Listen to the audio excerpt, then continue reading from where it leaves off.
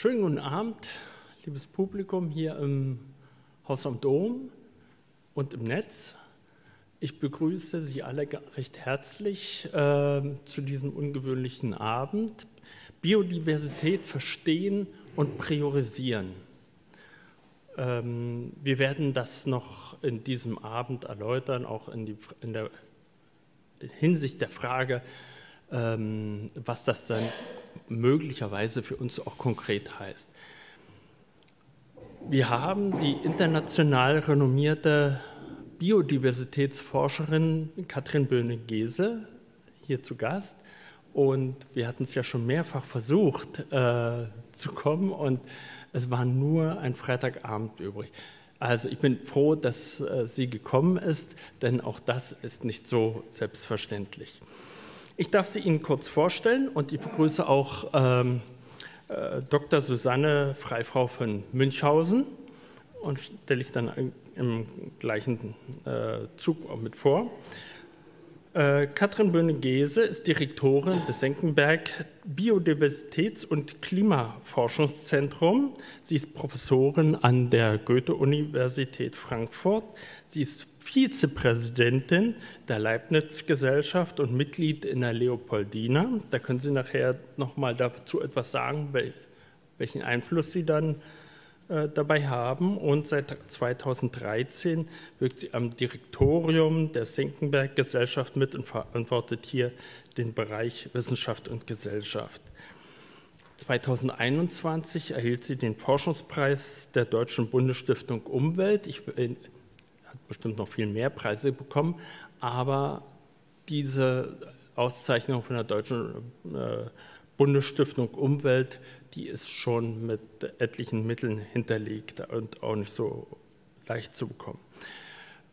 Sie können sich natürlich über die, äh, es, es, gibt auch einen Lebenslauf von ihr mit allen möglichen Veröffentlichungen, aber ich empfehle Ihnen auf der Seite erstmal auf den Podcast Erdfrequenz zu gehen. Da können Sie Katrin Böhne-Gese hören, aber auch die ganzen Kollegen und da kriegen Sie eigentlich auch ein gutes Bild mit, was eigentlich da in diesem international renommierten Forschungszentrum passiert.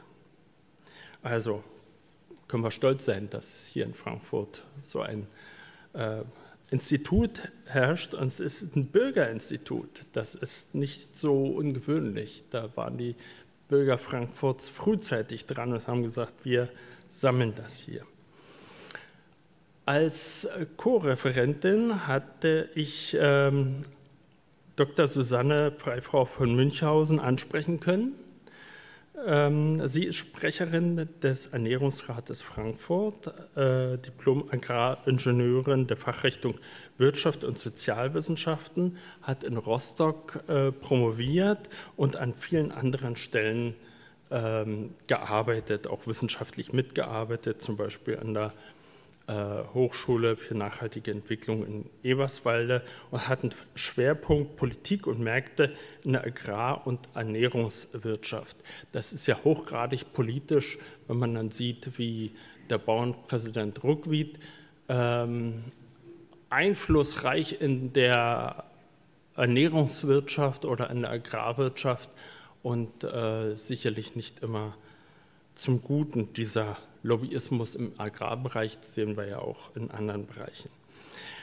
Mein Name ist Georg Horntrich, Studienleiter für Wirtschaft und Finanzen. Ich verstehe inzwischen diese Jobbezeichnung als ja, Wirtschaft, Finanzen und Transformation oder Transformation von Wirtschaft und Finanzen. Ich glaube, da kommen wir hin, denn wir müssen massiv umdenken, umlernen, um überhaupt das zu verstehen, was gerade uns umtreibt und wir haben nicht mehr ewig Zeit, äh, bis wir sozusagen all die Katastrophen ausgekostet haben.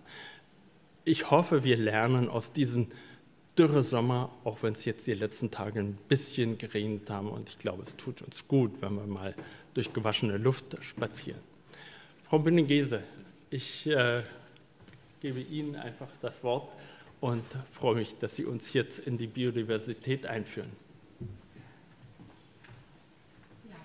Ganz herzlichen Dank für diese ausgesprochen freundliche Einführung. Und ja, geradezu etwas äh, äh, äh, mich demütig machende Einführung. Vielen Dank für die Einladung hier ins Haus und ich freue mich ausgesprochen, dass ich hier heute Abend ein bisschen was aus meiner Forschung und aus meiner Arbeit er erklären kann. Ich bin ja, wie gesagt wurde, hier bei Senckenberg die Direktorin des Biodiversität- und Klimaforschungszentrums.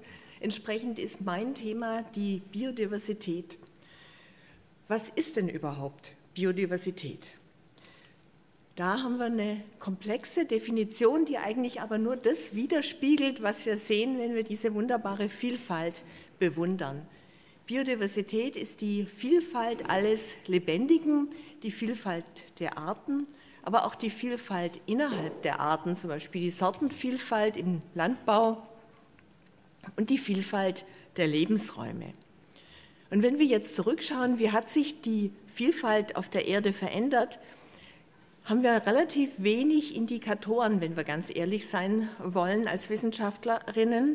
Es gibt einen berühmten Index, der hier links oben dargestellt ist, der Living Planet Index. Der misst die Bestände von vor allen Dingen Wirbeltieren, also Vögel, Säugetiere, Reptilien, Amphibien und Fische. Und dieser Index zeigt einen Rückgang der Biodiversität letztlich in der Zwischenzeit über die letzten 50 Jahre von äh, mehr als zwei Dritteln. Der mittlere Index oben ist der Redlist-Index, der misst, welcher Anteil von Arten vom Aussterben bedroht ist. Auch hier deutliche Rückgänge.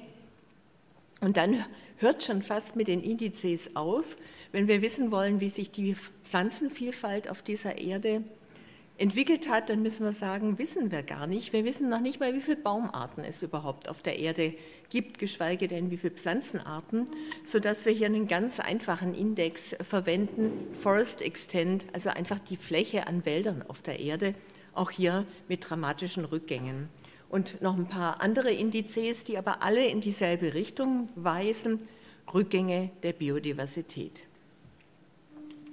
Wenn wir jetzt schauen, wie sieht es jetzt mit der globalen Bedrohung der Artenvielfalt aus, dann kommen wir auf diese Zahlen. Die sind erfasst hier von dieser Gruppierung Intergovernmental Panel on Biodiversity and Ecosystem Services oder ganz einfach auf Deutsch der Weltbiodiversitätsrat. Das ist das Äquivalent zum Weltklimarat wurde sehr viel später eingerichtet, aber macht genauso wie der Weltklimarat solche internationalen Berichte, um aus der Position der Wissenschaft heraus die Gesellschaft und Politik zu beraten. Und das hier war das erste globale Assessment, der erste globale Bericht 2019 publiziert.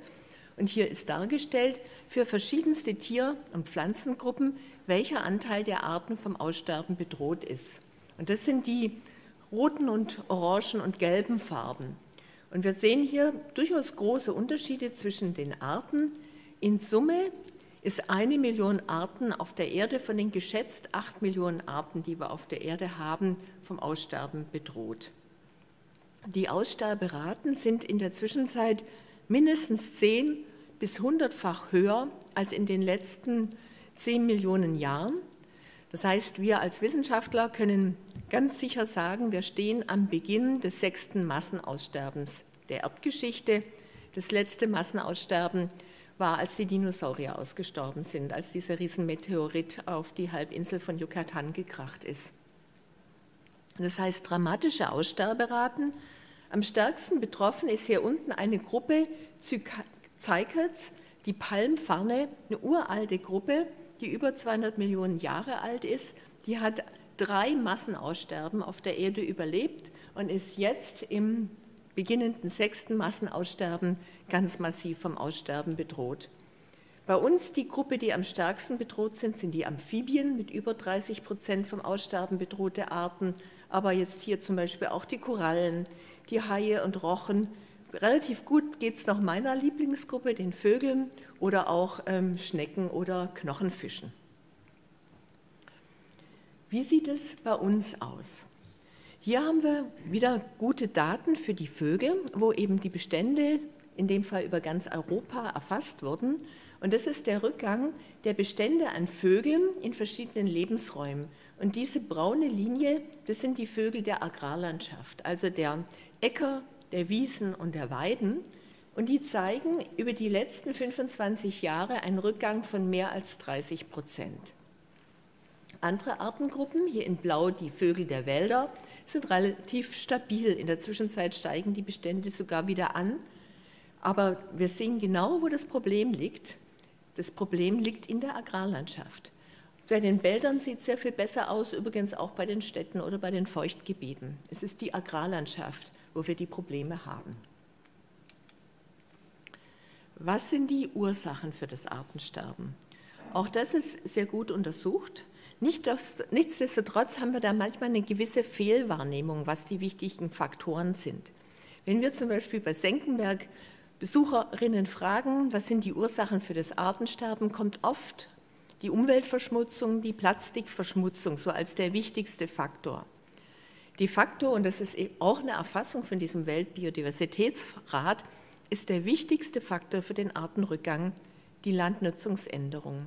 Also in den Tropen vor allen Dingen das Abholzen der Wälder und bei uns diese super intensive, fast industriemäßige Landwirtschaft.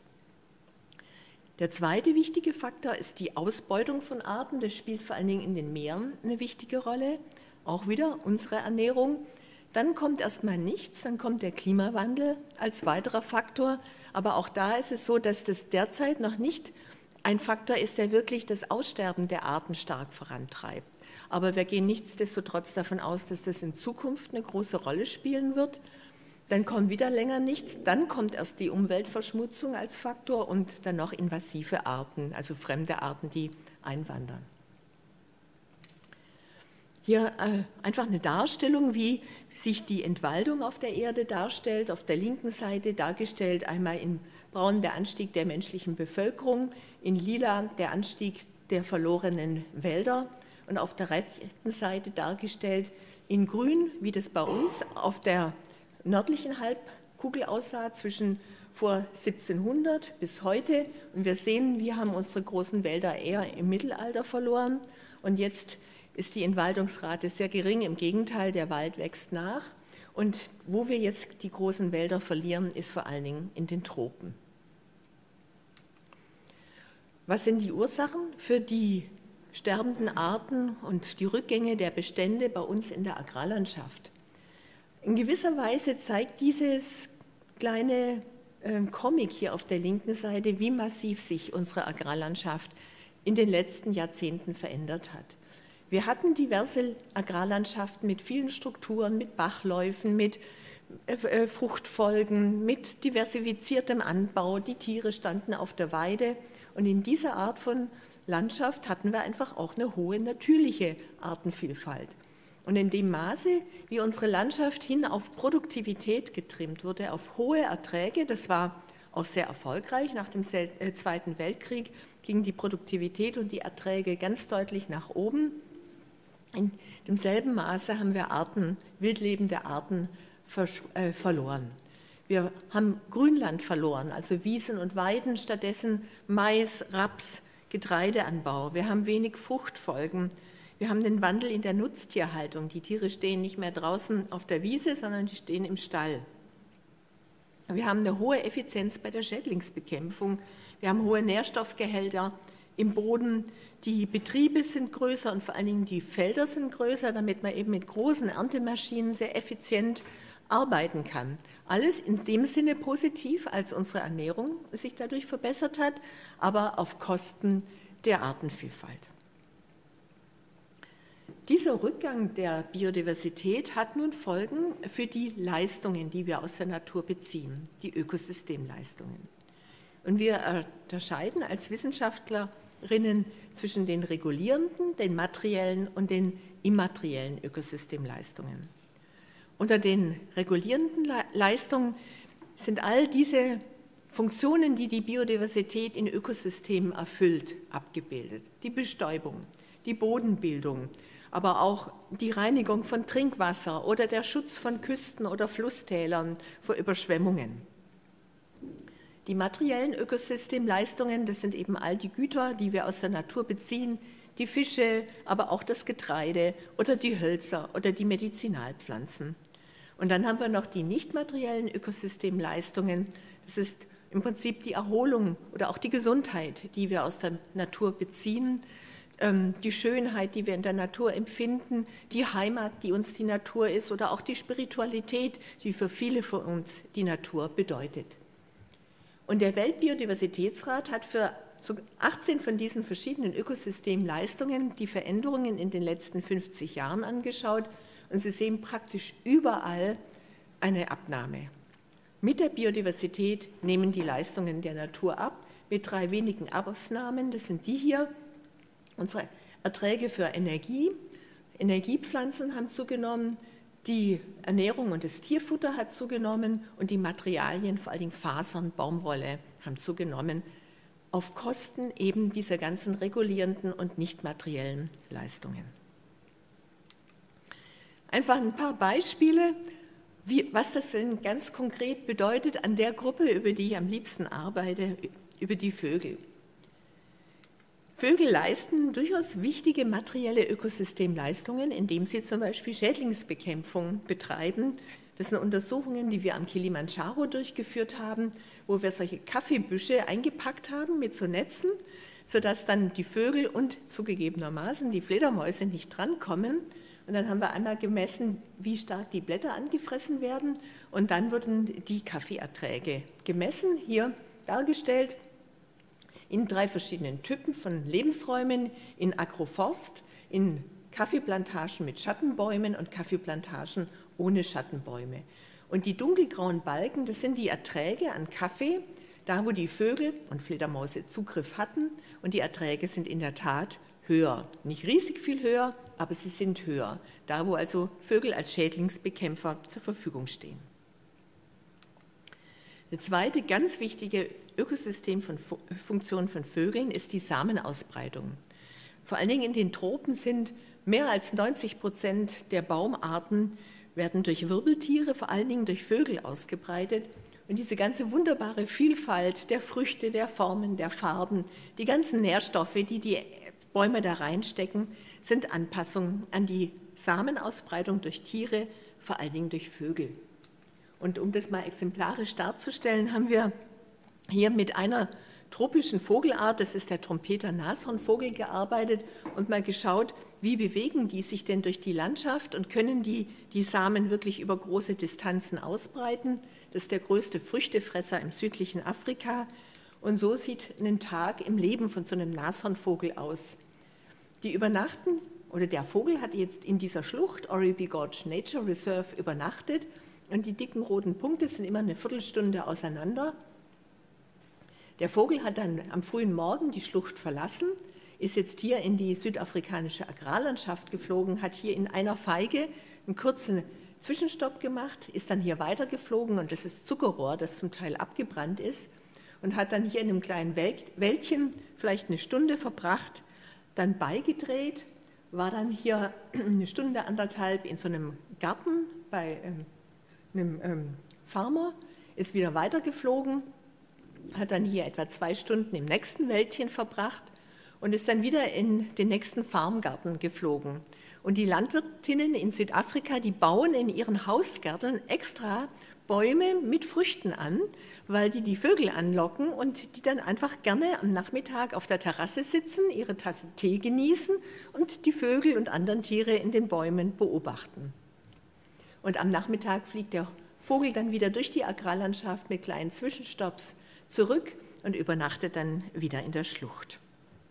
Das heißt, die Vögel sind ganz wichtige Samenausbreiter, die dann auch Samen von Fragment zu Fragment transportieren können und es erlauben, dass die Bäume sozusagen sich anpassen können, auch an den Klimawandel anpassen können, auch mit dem Klimawandel mitwandern können. Eine weitere wichtige Leistung, die uns wirklich auch überrascht hat, ist, es gibt einen ganz starken Zusammenhang zwischen der Artenvielfalt und dem Wohlbefinden, vor allem der Zufriedenheit der Menschen. Hier haben wir Daten auf der linken Seite dargestellt von dem sogenannten European Quality of Life Survey äh, ausgewertet. Das ist eine Befragung von in dem Fall 35.000 Europäerinnen. Die werden 200 verschiedene Fragen gefragt. Eine davon ist, Wie zufrieden sind Sie derzeit mit Ihrem Leben im Allgemeinen? Skala 1 bis 10. Ist nah an dieser Glücksforschung dran. Und je blauer das hier ist, umso zufriedener sind die Menschen, eher in Skandinavien. Je röter, desto unzufriedener sind sie, eher in Südosteuropa. Und es gibt ganz viele Faktoren, die diese Zufriedenheit beeinflussen, ist auch gut untersucht, zum Beispiel das Einkommen oder der Familienstand und ob die Menschen gesund sind. Und was wir dann neu getestet haben, ist, wie sieht die Artenvielfalt an Vögeln in der Region aus, wo die Menschen leben. Und wir haben den hochsignifikanten Zusammenhang gefunden. Da, wo es viele Vögel in dem in der Region gibt, wo die Menschen, die Befragten leben, ist die Lebenszufriedenheit der Menschen signifikant höher. Und das hier für diese unterschiedlichen europäischen Länder kontrolliert. Und das Erstaunliche für uns als Wissenschaftlerinnen war die Effektstärke. Die ist nämlich genauso hoch wie das Einkommen. Wenn wir das Einkommen um 10 Prozent erhöhen, erhöht sich die Zufriedenheit im selben Maße, wie wenn wir die Vogelvielfalt um 10 Prozent erhöhen. Also ein Faktor, der unsere Zufriedenheit massiv beeinflusst. Und die wenigsten von uns werden sich dessen wirklich bewusst sein. So, also keine Frage, es ist Zeit zum Handeln. Wir müssen hier was tun. Und die positive Nachricht gleich zu Beginn, wir können was tun und wir können die Kurve kriegen. Wir können diesen Rückgang der Biodiversität auffangen und wir können die Biodiversität wieder fördern und nach oben bringen. Was hier dargestellt ist, ist über die Zeit die Veränderung in der Biodiversität und diese schwarze Linie zeigt den Rückgang der Biodiversität, wie zum Beispiel in dem Living Planet Index am Anfang dargestellt. Und dann gibt es hier verschiedene Zukunftsmodelle. Und das sind dieselben Arten von Modellen, die Sie vielleicht aus der Klimawandeldiskussion schon kennen. Zum Beispiel war das 1,5 Grad Ziel eins von diesen Zukunftsszenarien für Klima. Es gab auch noch ein 2 Grad Ziel und ein 2,5 Grad Ziel und so weiter. Und in den Verhandlungen in Paris hat sich die Weltgemeinschaft dafür entschieden, das 1,5 Grad Ziel einzuschlagen oder sich zumindest darum zu bemühen. Und genauso sind das jetzt unterschiedliche Zukunftsszenarien für Biodiversität. Und eins, das ist das Schwarze, das weist hier weiter düster nach unten. Wenn wir weiter so machen wie bisher, Business as usual, wird die Biodiversität weiter dramatisch bis Ende des Jahrhunderts abnehmen. Aber es gibt auch eins, das ist das Gelbe, das zeigt wieder hier nach oben. Da würde der Rückgang der Biodiversität bis zum Jahr 2030 gestoppt und bis zum Jahr 2050 ginge das wieder nach oben. Und was sind die Maßnahmen? Es sind drei verschiedene Maßnahmenpakete. Erstens Conservation, Naturschutz. Wir brauchen größere und besser gemanagte Schutzgebiete und wir brauchen Renaturierung. Das Ziel, das jetzt auch Ende des Jahres bei dem Übereinkommen zur biologischen Vielfalt verhandelt wird, ist, dass wir 30 Prozent der Fläche an Land und in den Meeren unter Schutz stellen. Das würde einen wesentlichen Beitrag leisten reicht aber alleine nicht. Der zweite Faktor wäre die Supply-Side, die Erzeugerseite. Das spielt bei uns weniger eine Rolle, aber in vielen Ländern des globalen Südens, vor allen Dingen vielen afrikanischen Ländern, spielt es eine große Rolle.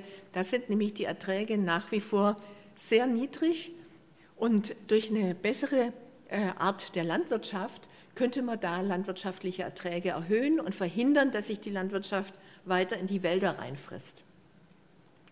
Aber die zwei Faktoren alleine reichen auch nicht. Wir brauchen den dritten Faktor und das ist die Demand-Seite, das ist die Verbraucherinnenseite, das sind wir als Verbraucher. Und dazu gehört weniger Lebensmittelverschwendung, die ist nämlich dramatisch. 15 Prozent der Anbaufläche in Deutschland wird im Prinzip verschwendet, wenn man das durchrechnet, was wir als Lebensmittelverschwendung tolerieren. Und der zweite ganz wichtige Faktor ist weniger tierproduktbasierte Ernährung, also mehr pflanzenbasierte Ernährung. Und da komme ich gleich dazu. Und das haben wir jetzt hier in dieser Stellungnahme der Leopoldina, der Nationalen Akademie der Wissenschaften, zusammengestellt. Erster Faktor, natürlich muss sich die Landwirtschaft ändern. Wir brauchen mehr Ökolandbau. Das europäische Ziel ist 25 Prozent der Fläche bis zum Jahr 2025 Ökolandbau zu betreiben. Wir brauchen wieder mehr genutzte Wiesen und Weiden und extensive Beweidung. Wir müssen die natürliche Schädlingsbekämpfung stärken, weniger Pflanzenschutz, weniger Düngung und eine strukturreiche Landschaft mit Hecken, Bäumen und Brachen. Nun ist es aber nicht so, dass die landwirtschaftlichen Betriebe zum Spaß so wirtschaften, wie sie wirtschaften. Die stehen unter einem immensen ähm, Preisdruck und äh, einem Riesendruck, eben produktiv zu arbeiten, um überhaupt Gewinne zu machen. Und das bedeutet, es reicht nicht nur bei der Landwirtschaft anzusetzen, äh, wir brauchen eine ganze Agrarwende. Das betrifft die Agrarpolitik, da insbesondere die gemeinsame Agrarpolitik der EU, die GAP, die Subventionen müssen weg von der Fläche, wo derzeit äh, die Hauptanteile äh, landen. Die müssen hin auf die Gemeinwohlleistungen der landwirtschaftlichen Betriebe ausgerichtet werden, also auch der Beitrag, der zum Artenschutz, zum Klimaschutz, zum Wasserschutz geleistet wird. Und da gibt es Vorschläge aus der Landwirtschaft, wie das passieren kann mit Punktemodellen. Das ist durchaus umsetzbar. Wir können aber auch auf der nationalen Ebene ansetzen, müssen nicht immer nur nach Brüssel schauen oder auch auf der Ebene der Bundesländer. Die Rettet der Biene-Aktion der Bayern hat das ja vorgemacht. Äh, Wir brauchen eine andere Art der Landschaftsplanung, die sehr viel gemeinsamer mit den landwirtschaftlichen Betrieben stattfindet. Und wir brauchen aber auch Verbesserungen in der Technologieentwicklung. Wir müssen die Möglichkeiten der Robotik und Digitalisierung nutzen und wir brauchen andere Sorten nicht mehr die Hochleistungssorten, sondern eher robuste, krankheitsresistente und dürretolerante Sorten. Merken wir dieses Jahr wieder ganz dramatisch. Was aber ganz klar ist, der Ökolandbau hat im Mittel niedrigere Erträge als der konventionelle Anbau. Das sind etwa 25 Prozent weniger. Je nach äh, Sorte und äh, ähm, Kultursorte kann das auch mal mehr sein. Und diese krankheitsresistenten und dürreresistenten Sorten haben auch niedrigere Erträge. Und deswegen brauchen wir wirklich eine Änderung in unserem äh, Ernährungs- und Konsumverhalten. Uns muss klar sein, dass wir für die Biodiversität mehr Geld ausgeben müssen, so wir uns das leisten können, und entsprechend gute, gesunde Lebensmittel kaufen, weniger Fleisch essen und weniger Lebensmittelverschwendung. Und der Fleischkonsum hat einen riesigen Effekt. Für ein Kilogramm Rindfleisch brauche ich 160 Mal die Fläche wie für ein Kilogramm Kartoffeln. Also das heißt, mit dem individuellen Fleischkonsum kann ich einen Riesenunterschied machen und das System äh, sehr viel besser in Richtung Nachhaltigkeit entwickeln. Dann müssten aber natürlich auch Handel und Märkte ansetzen. Biodiversitätsfreundlich erzeugte Lebensmittel muss ich im Supermarkt erkennen. Die regionale Vermarktung muss verbessert werden und wir brauchen das Wissen, die Bildung und Vermittlung von diesen Hintergründen. Und noch ein weiterer Faktor. Wir haben derzeit einen Konsum im globalen Norden, der auch massiv auf viele Länder des globalen Südens geht. Wenn wir schauen, was wir hier in den Importländern Westeuropa, aber auch Osteuropa, Nordamerika an landwirtschaftlichen und forstwirtschaftlichen Gütern importieren, hier von der linken Seite, vor allen Dingen aus Asien und Pazifik, Zentral- und Südamerika und aus Afrika, sehen wir diese ganzen Güterflüsse aus dem globalen Süden zu uns und das hinterlässt in den Ländern natürlich Entwaldung und verlorene Savannen und verlorene Graslandökosysteme und damit einen Verlust an Biodiversität. Und das ausgerechnet in den Ländern, wo die Biodiversität am höchsten ist. Und wenn wir hier gucken, wie viel Acker brauchen wir in Deutschland für den Anbau von unseren Gütern, dann ist das unser Ackerfußabdruck in Deutschland, das sind etwa 20 mal 20 Meter. Und das ist unser Ackerfußabdruck im Ausland, das sind 30 mal 30 Meter. Der ist größer als bei uns in Deutschland. Und wenn man dann guckt, das sind Futtermittel, und auch Energie und Materialien, für die wir Regenwälder abholzen. Und äh, wenn wir uns eben pflanzenbasierter ernähren würden, dann ähm, würde unser Fußabdruck auf der Erde sehr viel kleiner sein. Und damit danke ich Ihnen ganz herzlich für Ihre große Aufmerksamkeit, für Ihre Geduld und freue mich dann gleich auf Ihre Fragen und auf die Diskussion. Dankeschön.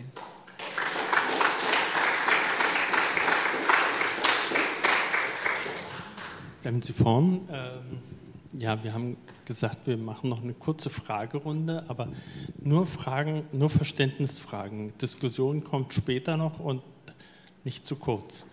Also, gibt es noch Rückfragen zu einzelnen? Also, ich habe mindestens eine Rückfrage, aber Sie kommen vor mir. Ich, also, da hinten sehe ich nicht. Sie, Sie können ans Mikrofon gehen, das am Fenster steht.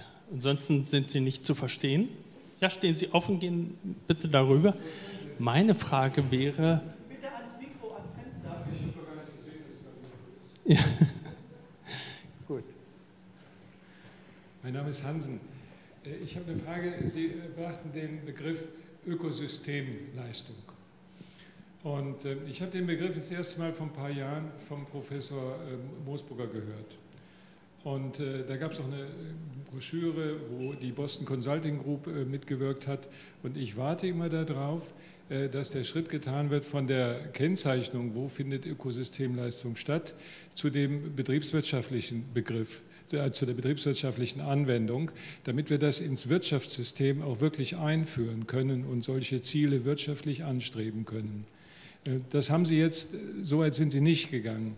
Aber ich frage mich, wann kommt das? Und gerade von Senckenberg. Das ist eine sehr berechtigte Frage. Und der Grund, warum das nicht existiert, ist, dass es für die Biodiversität diese äh, Monetarisierung, also wirklich in Euro oder Dollar von diesen ganzen Ökosystemleistungen, das zu berechnen, ist unglaublich schwierig.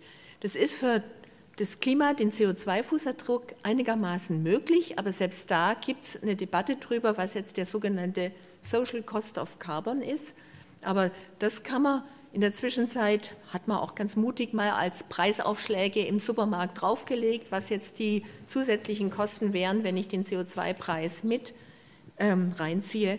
Aber die, viel, die Leistungen der Biodiversität sind so vielfältig, dass wir das nicht einfach monetarisieren können, man kann es für einzelne Leistungen in der Zwischenzeit ganz gut machen, für die Bestäubung zum Beispiel.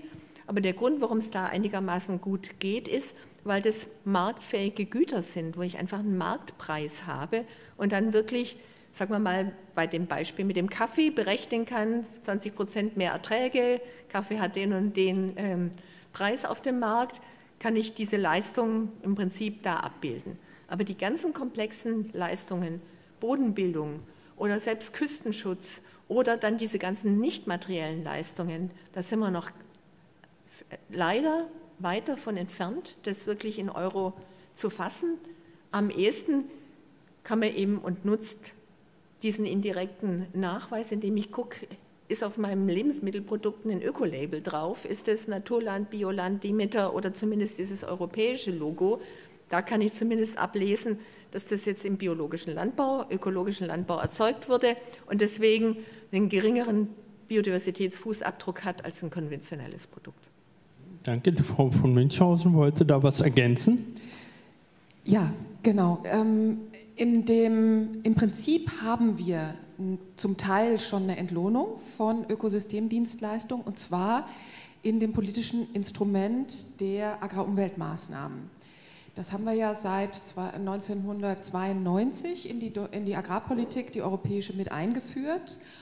Und da gibt es für bestimmte Tätigkeiten, für ein Mähen auf dem Grünland, für äh, den Erhalt von, für Einführung von Lärchenfenstern, um bei Ihrem Beispiel zu bleiben, eine Entlohnung für die Landwirte, die diese bestimmte Dienstleistung im Rahmen von Programmen, die auf Länderbasis äh, ausformuliert werden, erbringen. Und dafür bekommen sie eine Entschädigung für die zusätzlichen Kosten. 100 oder 150 oder 300 Euro pro Jahr. Also dieses Instrument haben wir, aber ich gebe Ihnen natürlich recht, das umfasst nicht diese umfassende, worauf Sie jetzt eingegangen sind, die umfassende Entlohnung von Ökosystemleistungen. Nichtsdestotrotz sollten wir im Hinterkopf behalten, dass wir jetzt schon seit 92 Erfahrungen haben mit den Agrarumweltmaßnahmen in Europa, das ein ziemlich erfolgreiches Instrument ist, zumindest in dem Bereich, wo es funktioniert, wie bei den Vögeln beispielsweise oder bei, bei Pflanzen, äh, dass es in vielen anderen Ländern so in dem Rahmen nicht gibt. Und der Wunsch war ja auch immer, dieses Instrument der Bezahlung für Ökosystemleistungen, das sehr viel weiter auszubauen.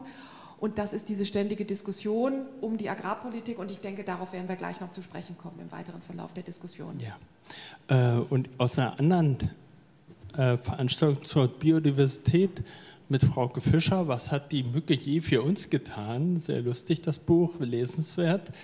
Und äh, da habe ich irgendwo die Zahl gefunden, dass die, ja, die Ökosystemdienstleistung die Brutto, also wirtschaftliche Bruttowertschöpfung um das 1,5 bis zweifacher übersteigt.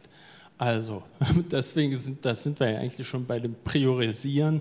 Also, was äh, erst Biodiversität schützen und dann schauen, wie wir Wertschöpfung äh, weiter betreiben. Und ich habe auch noch mal eine Frage. Sie haben das Beispiel mit der Kuh gebracht und ja, die Kuh als Klimakiller ist ja auch eine Frage der Haltungsform. Nicht? Also lebt sie auf dem im Grasland oder lebt sie im Stall mit irgendwelchen Kraft- und Turbofutter und äh, vielleicht sind es ja unterschiedliche Arten von Kühen auch. Äh, wie, das, wie sieht das eigentlich aus mit anderen äh, Tieren, zum Beispiel Schafe? Sind für mich immer so äh, Klimaschützer auf vier Beinen. Also man muss es beim, bei den ähm, verschiedenen Tieren durchaus differenzierter sehen. Also ein Punkt ganz klar, wie werden die Tiere gehalten, wobei leider auch, äh, also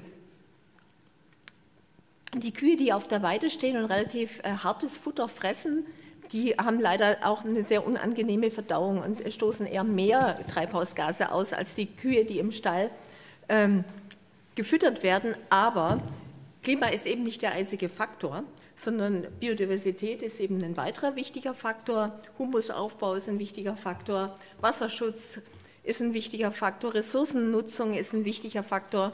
Und vor allen Dingen, wenn ich auf Biodiversität schaue, ist Weidehaltung einfach unglaublich gut und wichtig weil eben diese wunderbaren blühenden Wiesen und Weiden, das ist der Lebensraumtyp, den wir in Deutschland in der Agrarlandschaft am, am stärksten verlieren.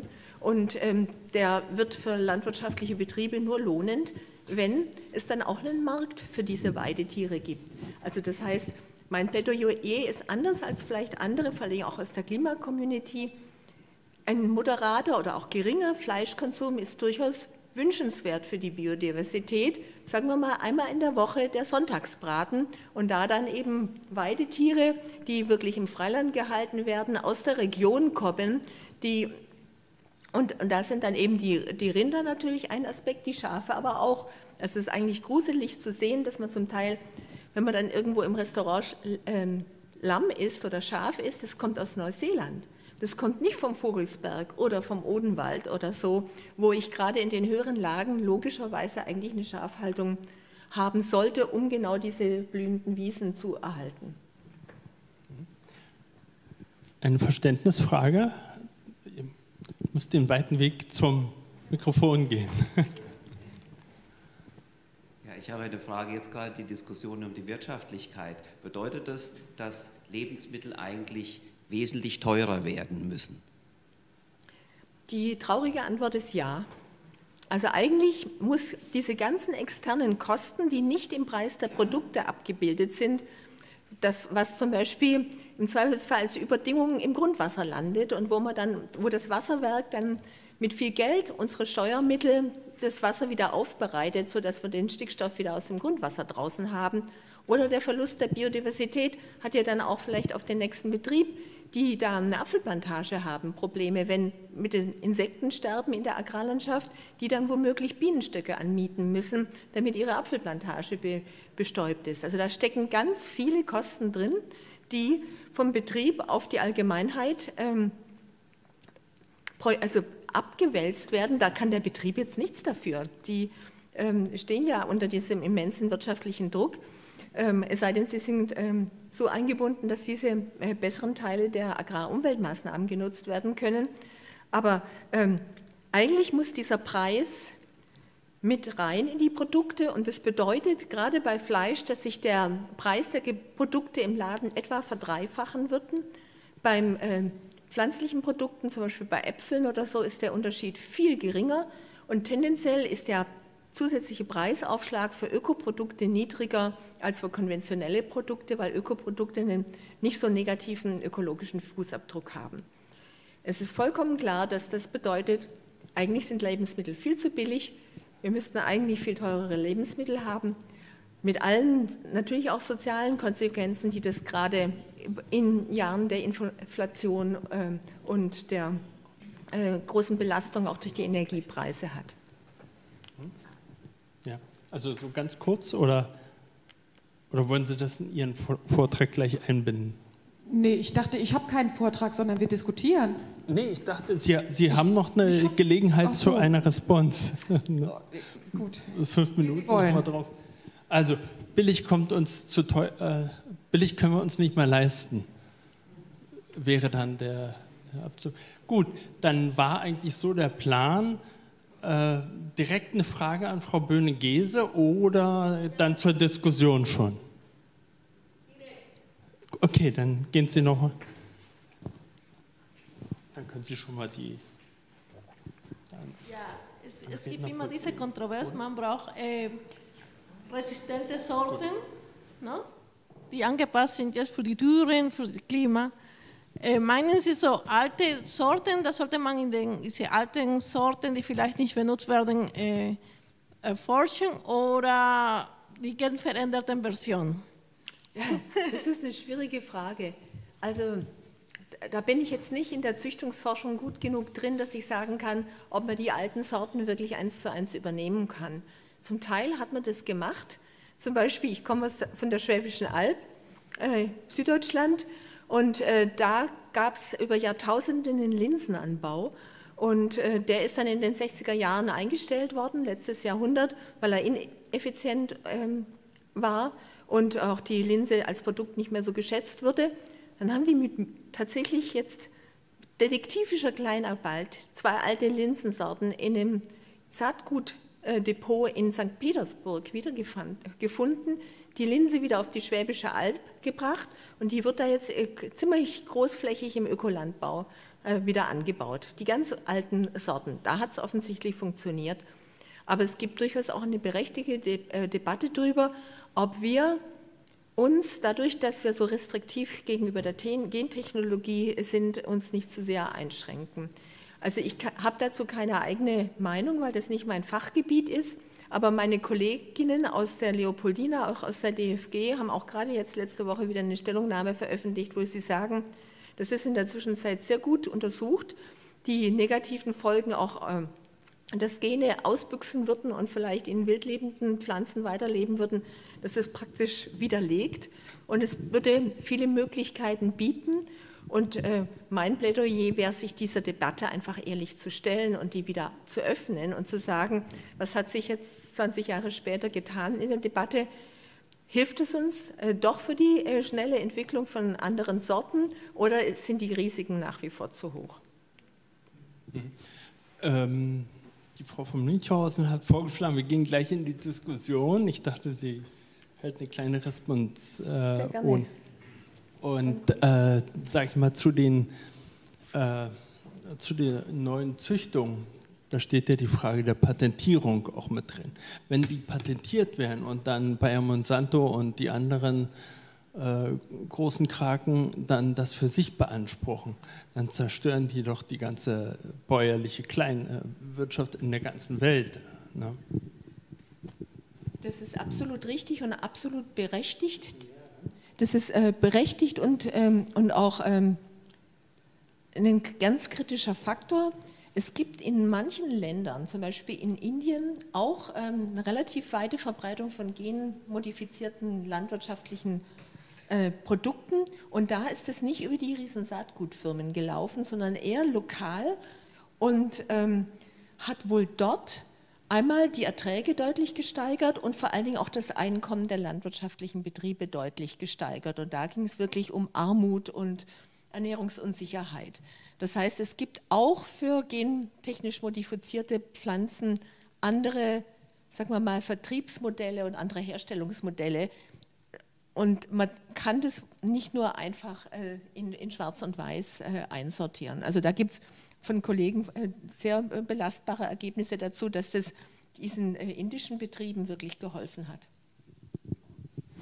Gut, jetzt möchte Sie wollten ich. Mir ja das, Sie wollten mir ja die Möglichkeit geben, ein bisschen zu erwidern, nicht zu dem. Ja, nicht nur zu erwidern, sondern auch zu ergänzen. Sie kommen ja sozusagen aus der, aus der deutschen, aber auch neuseeländischen Praxis und äh, haben ja da eigentlich einige Erfahrung dann konkret im Landbau und äh, dann und sind, glaube ich, auch noch in bestimmten Projekten immer noch mit beteiligt, so wie diese, dieses Projekt Schäfer schützen. Was ist das eigentlich? Das haben Sie auch herausgefunden.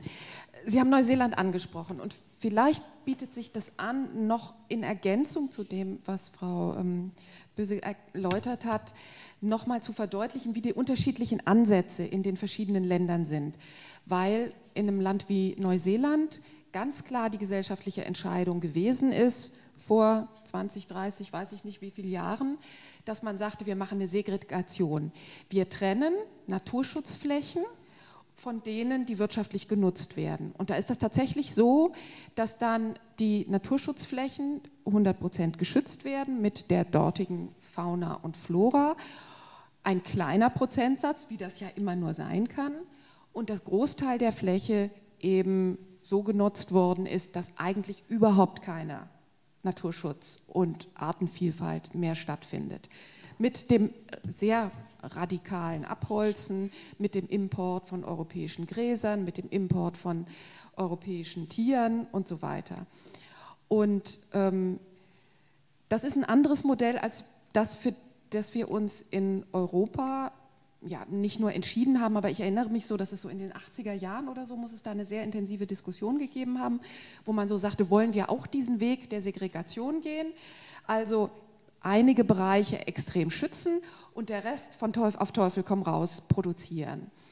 Und in diesem Dialog ist man aber dann dazu gekommen, dass man sagte, nein, wir haben ja eine Kulturlandschaft, die entstanden ist dadurch, dass wir über viele tausend Jahre Lebensmittel erzeugt haben, Tiere dort gehalten haben und Ökosysteme entstanden sind dadurch, dass sie eben bewirtschaftet wurden. Die Lüneburger Heide ist so ein typisches Beispiel.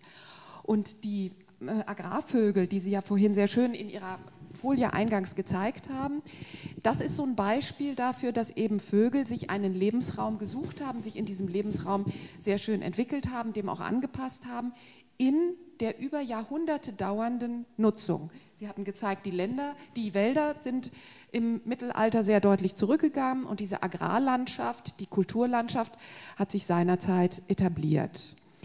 Und aufgrund dessen gibt es also viele Ökosysteme hier bei uns, anders als in Neuseeland zum Beispiel, in dem die Agrarlandschaftsarten, die Kulturlandschaftsarten nur zu erhalten sind mit einer entsprechenden Nutzung.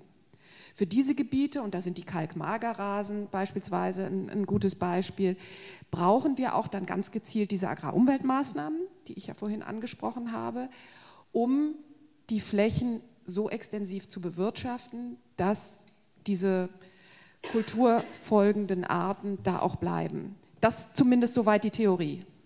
Wir sehen aber trotzdem, und das haben Ihre Zahlen sehr schön verdeutlicht, das funktioniert nicht ausreichend. Wir haben zwar diesen Ansatz mit den Agrarumweltmaßnahmen, aber das ist dann doch so punktuell und nicht grundlegend genug, dass ich vollkommen Ihrem Statement ähm, zustimme. Das reicht nicht. Wir müssen sehr viel weiter gehen. Wir brauchen die Agrarwende und das haben Sie auch schon sehr deutlich gemacht. Mit der Agrarwende hängt die Ernährungswende zusammen. Und wie die dann im Einzelnen aussieht, das werden wir sicherlich noch besprechen. Aber so ganz konkret vielleicht noch mal äh, auch das knüpft sehr schön an das Bild an, was Sie gezeigt haben. Wir brauchen mehr Landschaftselemente, wir brauchen wieder eine stärker strukturierte Landschaft. Und diese stärker strukturierte Landschaft, die muss dann auch wieder besser verbunden werden. Diese Konnektivität zwischen den Landschaftselementen, die brauchen wir sehr viel stärker. Und da wäre ein Punkt, wo ich Ihnen ein bisschen widersprechen muss, weil Sie so sagten, die Betriebe werden immer größer. Und die Größe der Betriebe muss nicht unbedingt das Problem sein. Wir haben auch im ökologischen Landbau beispielsweise sehr große Betriebe, Fläche pro Entscheidungsträger. Das ganz große Problem, was wir haben, ist, dass die Flächen so groß sind, nicht unbedingt, dass die Betriebe so groß sind. Denn da sehe ich zum Beispiel eine Chance, die kommen könnte aufgrund der Größe der Betriebe, dass wir über die Robotik, über die Einsetzung, das Einsetzen von äh, digitalen Lösungen zum Beispiel wieder sehr viel kleinere Mosaiklandschaften haben können. Denn wir haben jetzt die großen Maschinen, die großen Schläge, weil wir mit sehr einfachen Entscheidungsstrukturen, sehr großen Maschinen, in den neuen Bundesländern haben wir das ja insbesondere oder in Norddeutschland, mit diesen großen Maschinen eine große Schlagkraft haben. Wenn wir aber intelligente Technologien einsetzen, dann ist das nicht unbedingt notwendig. Dann könnte man auch auf einem großen Schlag die Fruchtfolge sehr viel stärker auffächern und das würde für den Artenschutz sehr, sehr viel bringen. Also Flächen kleiner machen, müssen nicht unbedingt die Betriebe kleiner werden, Flächen kleiner werden, dort Nischen schaffen, in denen die Arten Rückzugsgebiete haben. Und auch das zeigte ja Ihr Bild mit dem Vogel eigentlich sehr schön. Das gilt für unsere Agrarlandschaft genauso.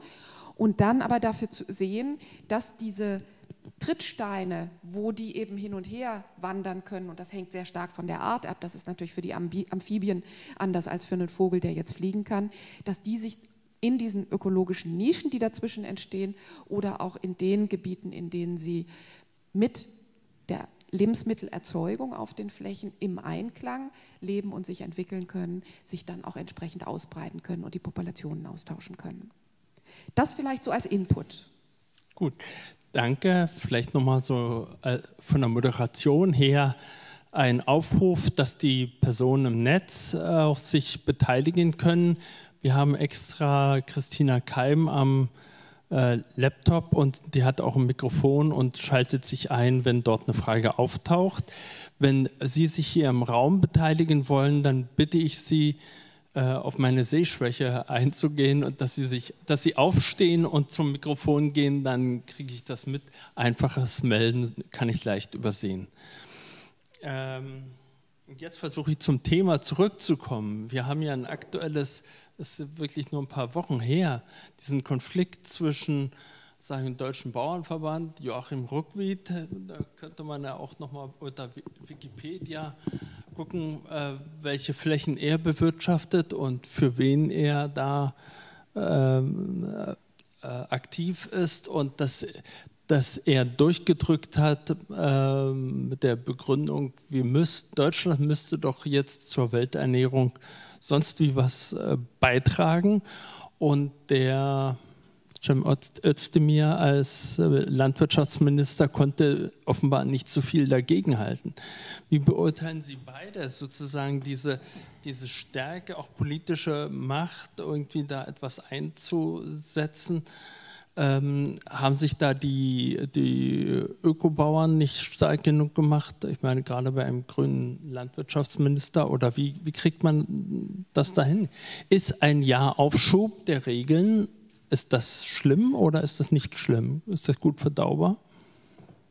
Also wir haben ein ganz aktuelles Problem und das haben wir insbesondere in Hessen. Sie sprachen ja vorhin an, wir brauchen mehr Bereitschaft bei den Verbraucherinnen und Verbrauchern die Lebensmittel zu kaufen, die relativ stark im Einklang mit der Natur erzeugt worden sind.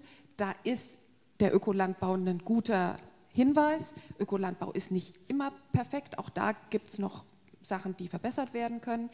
Aber das Problem, was wir ganz aktuell haben, ist, dass wir sehr viele Menschen haben, die nicht mehr öko oder regional ihre Lebensmittel einkaufen, obwohl die gar nicht so viel teurer sind, wenn wir gerade an Produkte denken, wo die Preisspanne nicht so ein großer Unterschied ist, wie bei Kartoffeln oder bei Gemüse. Im Moment werden, und das müssen wir uns wirklich klar werden, im Moment werden öko erzeugte Tomaten in Hessen vernichtet, weil sie nicht verkauft werden können. Rewe Landmarktmärkte sind zusammen, also nicht zusammengebrochen, stark zurückgegangen. Die direkt vermarkenden Betriebe, die Lieferdienste haben deutlich weniger, weil ein Großteil der Menschen eben Angst hat in der Krise jetzt, in der sich abzeichnenden Krise, allein die Angst, ich weiß nicht, ob wir es jetzt im, im Portemonnaie schon spüren, aber vor allem auch Menschen, die sich eigentlich leisten können, selbst dann, wenn sie viel mehr für die Heizung im Winter bezahlen müssen, fahren zu den Discountern, kaufen dort vielleicht auch Öko ein, aber dann mit einem hohen ökologischen Fußabdruck aus Spanien oder so importiert mit den ganzen Wasserproblematiken. Und wir haben massive Probleme für unsere ökologischen Erzeuger hier bei uns vor den Toren Frankfurts. Und ähm, wir versuchen, die jetzt so gut wie möglich von Seiten des Ernährungsrates auch zu unterstützen. Mit einer Kampagne sind im Gespräch, wo wir vielleicht Geld herkriegen können, um aufzuklären, weil ich denke, dass es vielen Menschen so geht, wie Sie spontan sagten, ach du meine Güte, das wissen wir ja gar nicht. Das ist das ganz Aktuelle. Mhm. Äh, da ist auch eine Veranstaltung in Planung am 5. Oktober. Wollten wir mit Jörg Weber da etwas machen. Veranstaltung ist noch nicht fertig, aber 5. Oktober, 19 Uhr könnte was laufen. Und Sie Auf Herrn Ruckweg gehe ich dann gleich noch ein, aber Gut, vielleicht aber nehmen wir erst die Frage. Publikum zuerst. Otto, komm. Okay.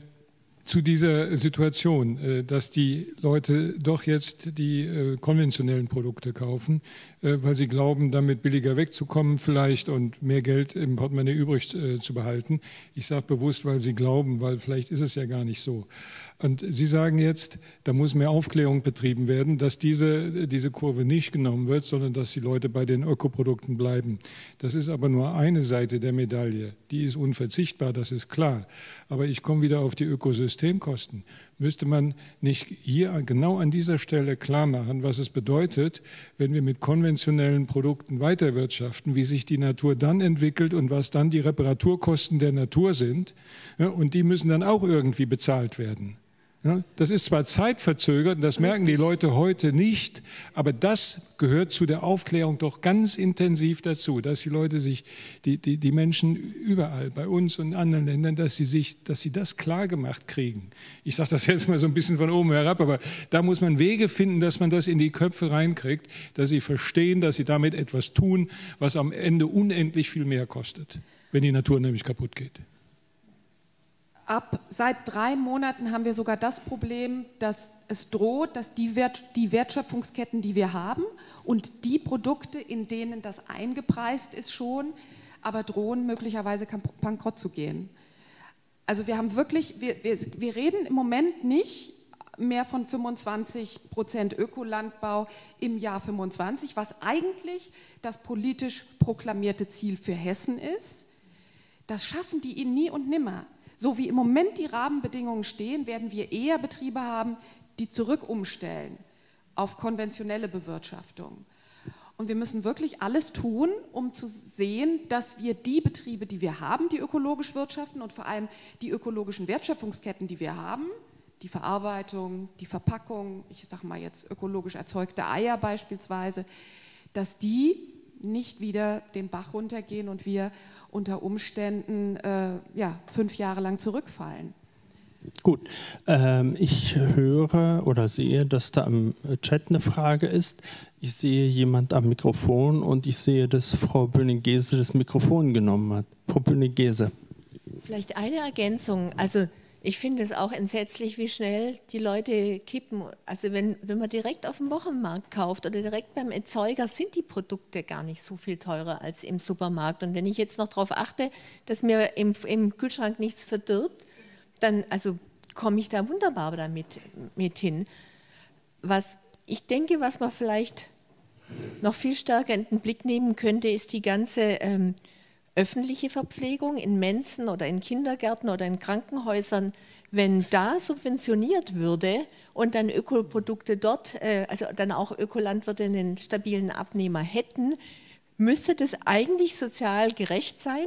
Man würde genau den Leuten die sich sonst vielleicht dann doch eher weniger leisten würden, äh, gesundes äh, Essen zukommen lassen und es gäbe stabile Märkte. Ja, also das ist dann die Antwort von Frau äh, von Münchhausen, denn Sie können dann gleich sagen, was der Ernährungsrat auch tut hier in Frankfurt und Umgebung und Krankenhauskost. Entschuldigung, da muss ich mich äh, so als, als leidgeprüfter muss ich mich da einklinken. Äh, ein, äh, also ich war längere Zeit im Krankenhaus, äh, insgesamt vielleicht ein Jahr. Und ähm, was man dort an ja, Kost serviert kriegt, das ist nicht gesund. Das ist, und alle Ärzte wissen auch, dass, äh, dass das nicht zur Heilung beiträgt. Und das ist ein Systemfehler. Da werden die Küchen ausgelagert und man kriegt pro, pro Tag pro Patient irgendwo 10 Euro. Entsprechend sieht das auch aus.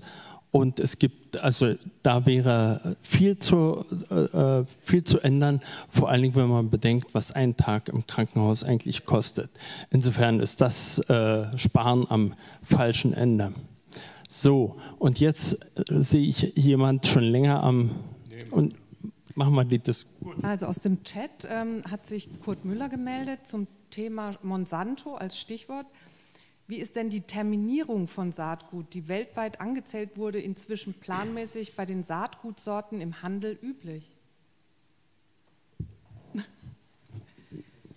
Also ich bin beim Saatgut keine Expertin. Ich kann die Frage nicht beantworten. Da müssen wir vielleicht mal eine andere Veranstaltung dazu machen, weil das ein sehr spezielles Themenfeld ist, was unheimlich wichtig ist und offenbar das Interesse auch da ist.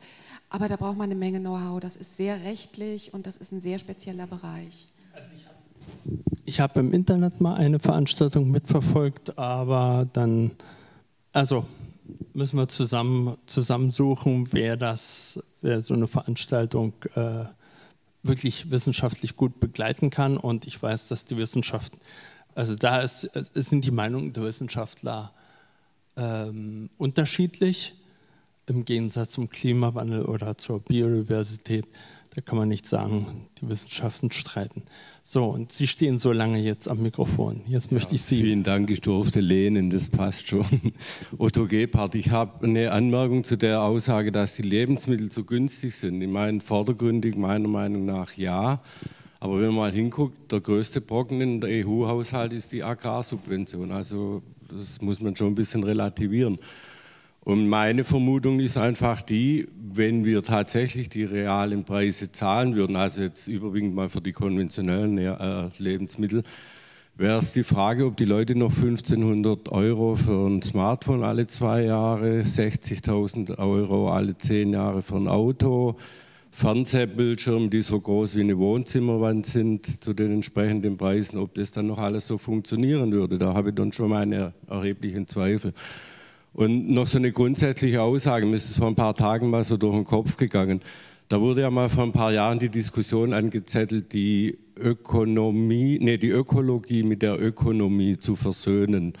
Und ich glaube, das war die Riesenfalle, in die wir da getappt sind. Weil inzwischen ist es ja bei allen diesen Bereichen, das ist auch unabhängig von der Landwirtschaft, weil Biodiversität hat das ja dann auch Auswirkungen, auch in anderen Bereichen. Wenn es dann wirklich darum geht, entsprechende Maßnahmen einzuleiten, kommt ja doch sehr oft der Aspekt oder das Argument, das ist zu teuer, das können wir uns nicht leisten, wer soll das bezahlen? Also ich bin der Meinung, die Formulierung, wenn überhaupt, muss andersrum lauten, dass eben die Ökologie im Vordergrund steht. Und dann müssen wir versuchen, wie können wir das gebacken bekommen, dass wir eine ja, letztendlich lebenswerte, nachhaltige, wie auch immer, Umwelt haben. Aber das sind wahrscheinlich Debatten, die über den Rahmen jetzt vielleicht hinausgehen. Ja. Aber nochmal zu der Lebensmittelgeschichte, also das mit der Agrarsubvention, das ist ja in andere, nicht in allen Ländern gleich. Ich meine, in Frankreich es, sind die Lebensmittel schon etwas teurer wie bei uns in Deutschland. Ich weiß jetzt nicht genau, wie das in osteuropäischen oder in anderen Ländern ist, kann ich schlecht beurteilen. Ob so in der Relation jetzt wieder in England ist es ja teilweise fast noch billiger wie bei uns und die Lebensmittel haben auch nicht gerade unbedingt die Qualität. Also ich denke, das ist sehr differenziert zu betrachten, das Ganze. Danke. Also ich glaube, Deutschland ist berüchtigt, auch auf, äh, auf der europäischen Ebene, dass deutsche Verbraucherinnen wenig Geld für Essen ausgeben wollen. Und das ist in Frankreich definitiv anders. Und, und zum Teil ist es auch, das haben Sie auch gesagt, es muss nicht immer der strikte Ökolandbau sein. Es gibt gerade in der Tierhaltung gar keinen so einen Riesenunterschied, wenn man Weidehaltung hat zwischen konventionellem und Öko. Äh, Anbau auch eine Ökologisierung der konventionellen Landwirtschaft würde schon einen Unterschied machen.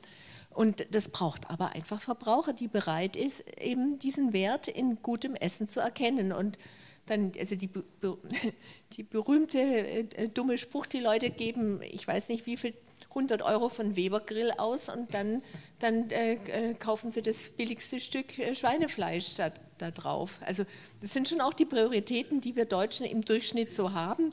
Und äh, wir können jetzt als Wissenschaftlerinnen anderen nicht vorschreiben, welche Werte sie haben, aber ich kann zumindest sagen, also mit dieser Einstellung ähm, fahren wir die Landwirtschaft in Deutschland an die Wand. Da wird die Biodiversität äh, weiter dramatisch abnehmen. Und irgendwann mal wirkt sich das auf die Erträge aus und dann kosten auch die ganz normalen konventionellen Lebensmittel viel mehr. Ich würde gerne noch mal hinzu, sagen wir mal, diese, äh, die Bewertung sozusagen, was wir kaufen, wir uns leisten und wo wir sparen. Ähm, ein Wort ist noch nicht gefallen, es geht um unsere Lebensgrundlagen. Und wenn wir das nicht verstehen und nicht, das steht für mich unter diesem Titel priorisieren. Also über manche Sachen sollten, die sollen wir einfach gesetzt halten und sagen, Klimawandel müssen wir bekämpfen und oder ja, also müssen wir was tun und, und, und nicht diskutieren, ja, ob und so weiter.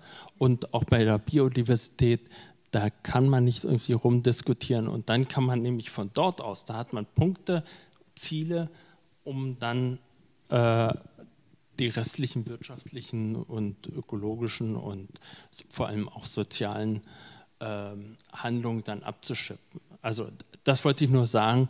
Äh, es geht, um die es geht um unsere Lebens Lebensgrundlagen und es geht nicht um Wohlstand, sondern wir sollten künftig wirklich auf Lebensqualität achten.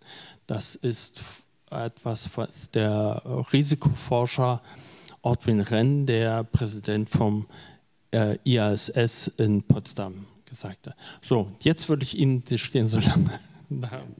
Ich möchte nochmal eher äh, in die Zukunft schauend eine Frage stellen. Ich meine, dass äh, die, die Situation äh, im Agrarsektor, die Biodiversität und im Klimawandel, das ist ja schon seit Jahrzehnten bekannt. Und auch Lösungen sind eigentlich bekannt, die, die Sie jetzt hier vorgestellt haben und sind gut begründet.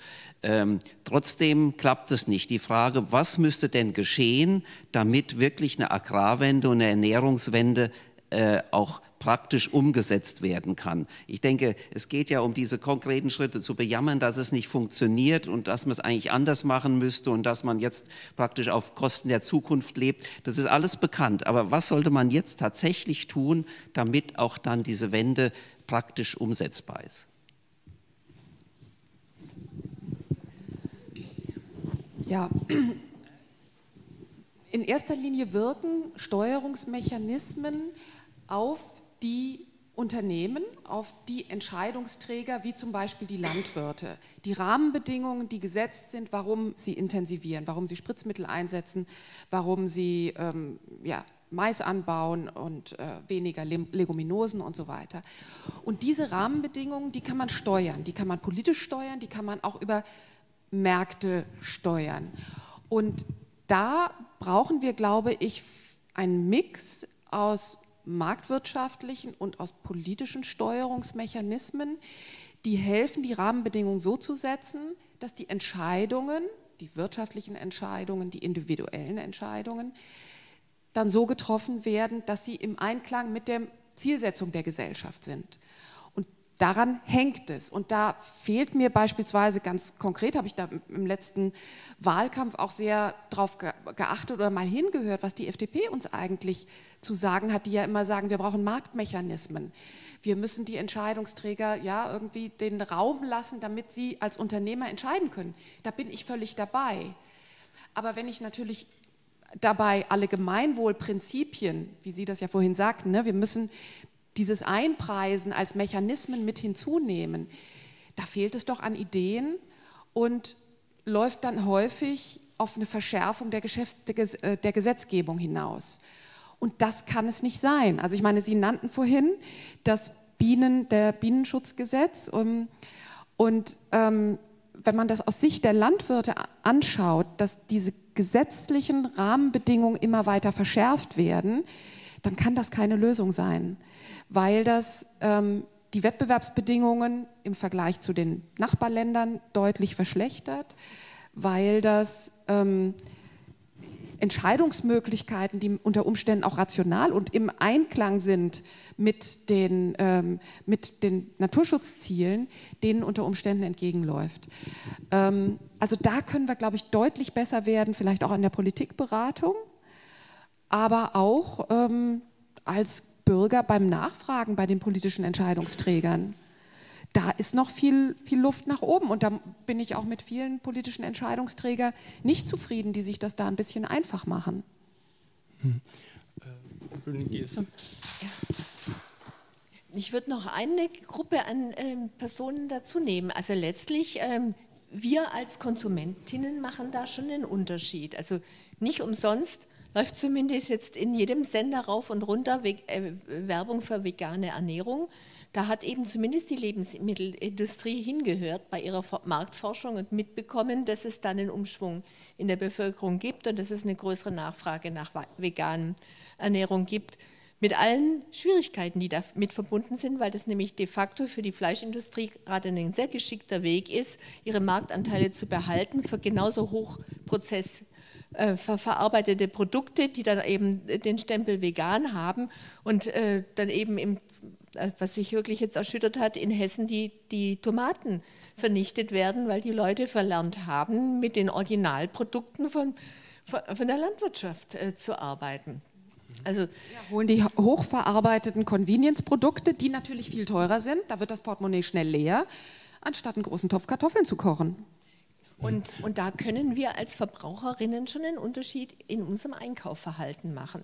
Und äh, einer der Gründe, warum äh, ich vermute, dass der Ruckwied gerade so Rückenwind hat und der Cem Özdemir nicht äh, vorankommt, ist einfach dieser, äh, ja, diese Sorge, die jetzt gerade durchs Land äh, schwappt, zum Teil berechtigt, äh, zum Teil eben auch vielleicht einfach nur eine Angst, die nicht wirklich substanziell ist und dann eben die, die Nachfrage nach Ökoprodukten sich so reduziert, dass ähm, der, die im Prinzip in dem ganzen Bereich, auch wenn sie sich für mehr Ökolandwirtschaft einsetzen würden, die Füße stillhalten müssen, weil in der geradigen äh, gesellschaftlichen Situation das schwierig umzusetzen ist.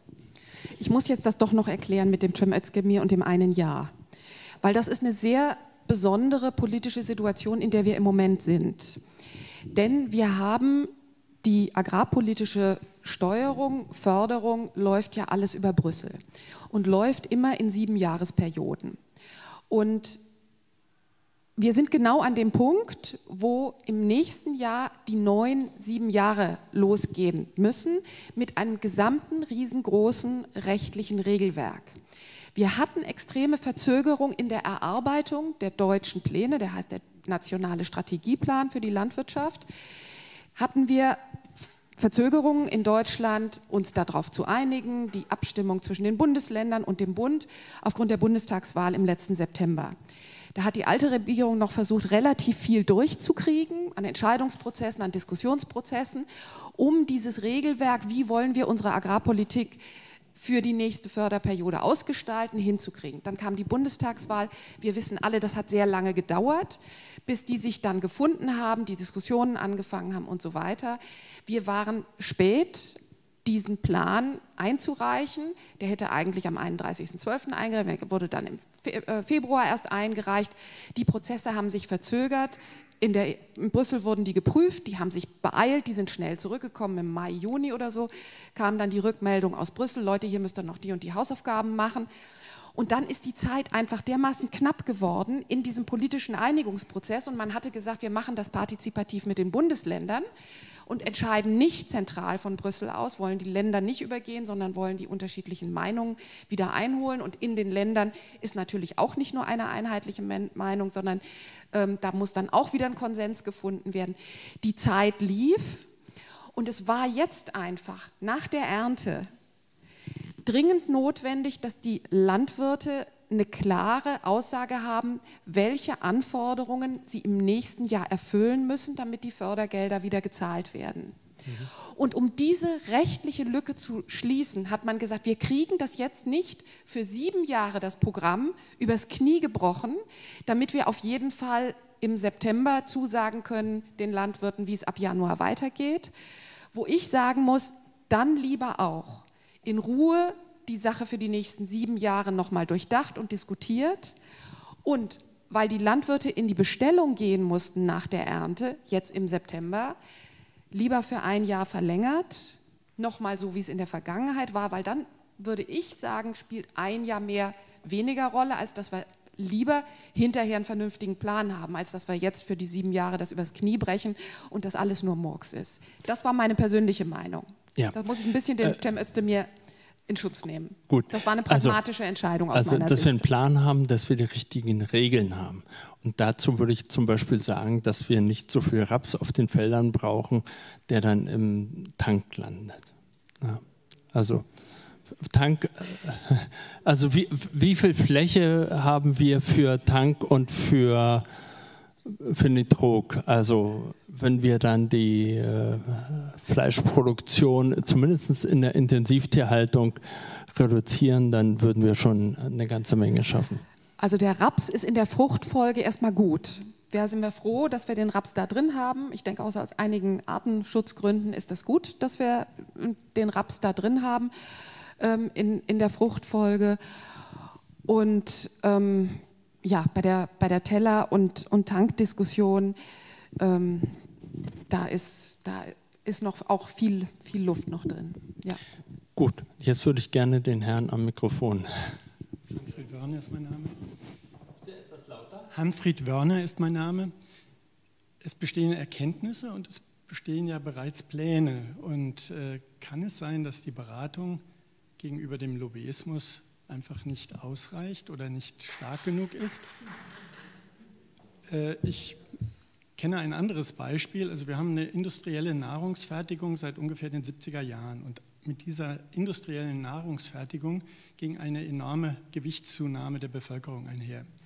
Und es gibt äh, Ernährungs- oder Diabetesgesellschaften, die sich darum bemühen, die den äh, Zuckergehalt in den Nahrungsmitteln zu reduzieren und sind damit leider bisher auch nicht allzu erfolgreich. Es sollte ein Ampelsystem eingeführt worden, das ist von der Bundesregierung, glaube ich, abgelehnt worden, sodass sich das nicht durchsetzen konnte. Man muss vielleicht Lobby, äh, die, den Lobbyismus etwas äh, mehr unter Kontrolle halten, um dort erfolgreiche Schritte vollziehen zu können. Danke. Ich, ich würde da gerne ergänzen, ähm, eigentlich alles das, was, was gesund ist, ist auch für Klima und Biodiversität gesund. Also, Sie hatten das Mikrofon schon in der Hand, halten Sie sich bitte nicht zurück. Der einzig positive Aspekt ähm, ist, dass tatsächlich bei der letzten Bundestagswahl das ähm, Landwirtschaftsministerium in neuen Händen ist und dass das Potenzial für deutliche Verbesserungen hat.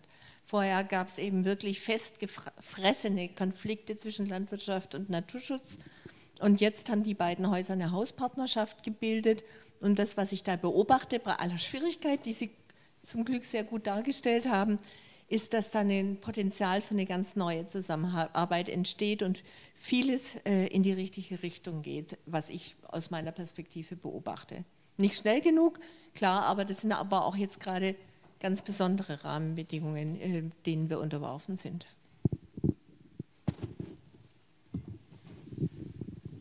Äh, ja, sagen Sie Ihren Namen. Also ja, Silke Bacher.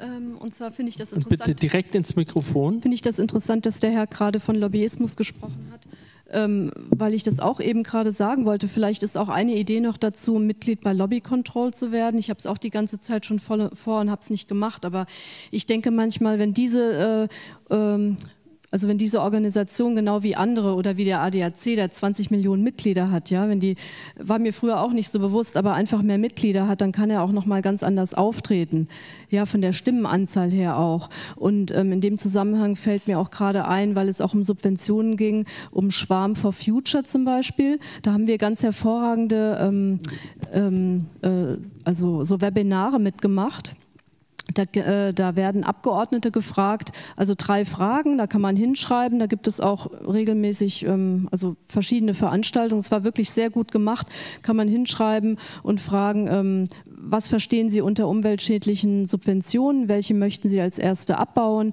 und wofür wollen Sie dann die frei werdenden Gelder verwenden. Ja, also ich bin auch Mitglied bei Psychologists for Future und ganz wichtig finde ich auch, dass man sich zeigt, dass man mitarbeitet in einer Organisation, weil das wusste ich auch ganz lange nicht. Ähm, ich habe auch in den 80er Jahren schon vom Club of Rome gelesen, hat ja irgendwie niemand ernst genommen und ich habe auch immer gedacht, ne, wenn ich individuell irgendwie äh, Plastiktüten äh, ähm, wasche und die wiederverwende, dann rettet das die Welt so ungefähr. Und jetzt ist mir erst klar geworden, der Unterschied zwischen diesem individuellen Fußabdruck von der ähm, äh, fossilen Industrie und dem Handabdruck. Also ganz wichtig halt, sich zu zeigen. Jetzt ist ja auch Friday for Future Demo am 23. September. Halt hingehen und aktiv werden, weil ich glaube, das wissen auch viele Menschen nicht. Das ist immer wieder das, was uns auch auffällt, so, ja, wenn man aktiv ist, sondern wirklich Druck machen. Ja, Druck machen, weil nur dann wird die Politik was machen, weil die haben massive Lobbyisten da, deswegen braucht es auch eine andere Lobby dagegen, ja, weil die haben auch den Kopf voll und viel zu tun. Und klar, dann gibt es verschiedene Interessen und dann kommen die nicht in die Gänge. Und das ist einfach wichtig. Und es kann auch Spaß machen und Sinn machen, wollte ich nur noch mal sagen. Also in dem Zusammenhang vielleicht auch noch mal eine, eine Bresche für die Brüsseler Köpfe, die im Hintergrund sich Gedanken machen, wie man was ändern und besser machen könnte. Und äh, da gibt es auf jeden Fall für diese Agrar- und Ernährungswende ganz, ganz viele Fürsprecherinnen und Fürsprecher, die auch in ihren Entwürfen vor ja, vor zwei Jahren sich sehr viele Gedanken gemacht haben und wirklich an diesem Lobby dann auch ähm, der aufgrund der Länder hm, von der, der, Mitgliedstaaten dann da durchgedrückt wurde, wirklich ein, ein Programm abgeschwächt äh, uns jetzt vorliegt, was überhaupt nicht zufriedenstellend kann, sein kann. Also insofern kann ich Ihnen dann nur zustimmen, rausgehen, Krach machen und sich einsetzen dafür, dass ja, die vernünftigen Lösungen, die da sind, vielleicht eine Chance kriegen. Oder äh, auch äh, Dinge, die schieflaufen, offenlegen. Transparenz ist immer auch noch gute, äh, ein gutes Mittel gegen Missbräuche aller Art. Also es gibt die Organisation Transparency äh, äh, International, äh, also gegen Korruption, aber es gibt natürlich auch Lobby Control und andere. Also ich glaube, da sehe ich schon auch und, und auch natürlich in den Bürgerbewegungen ein hohes Potenzial. Ähm, Christina Keim hat äh, ein, zwei Fragen und dann würde ich alsbald auch noch mal einen anderen Fokus einnehmen wollen, nachdem wir jetzt bei der Agrarpolitik waren. Also von Klaus Minn keine Frage, sondern eher ein Statement. Braucht es nicht mehr Offenheit und Verständnis füreinander, wenn man eine Änderung in der Landwirtschaft erreichen will? Beide Seiten werfen sich zu viel Ideologie und Verbleib in der Blase vor.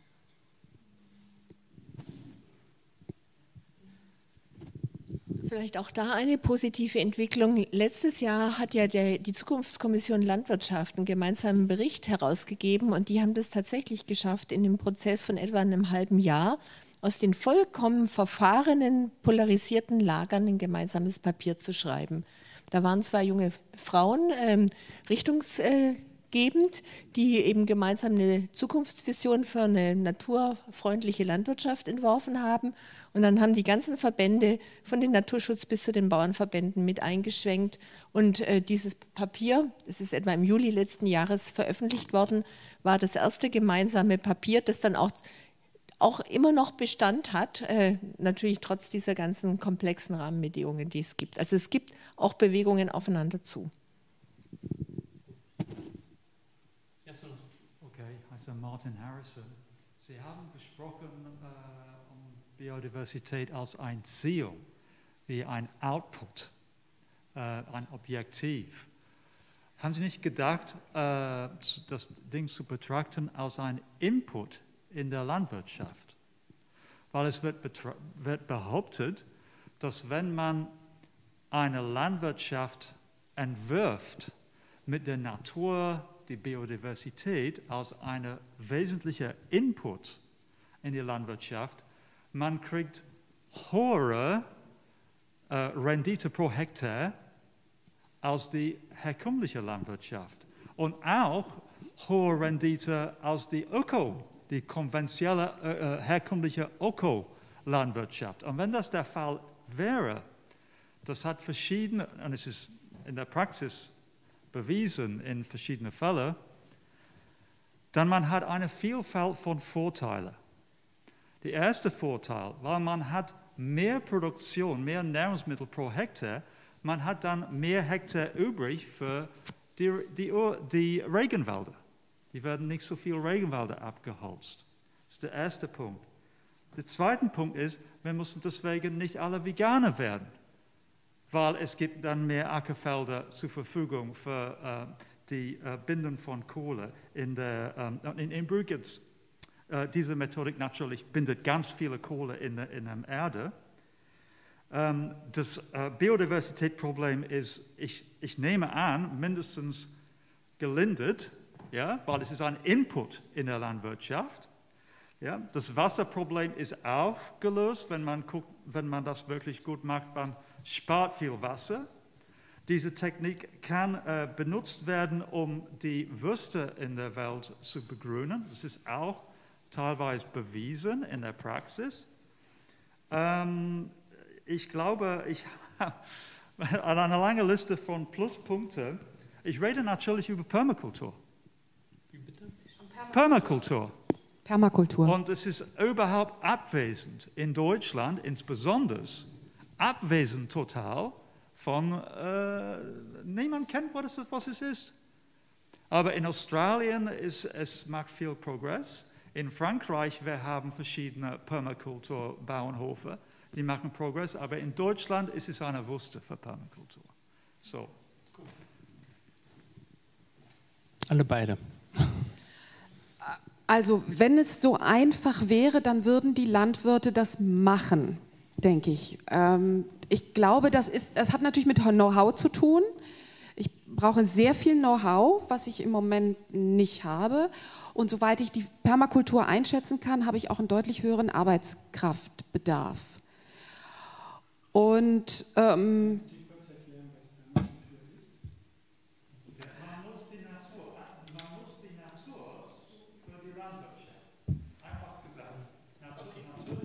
Sie, Sie, sind nicht verstehbar für die Leute im Netz.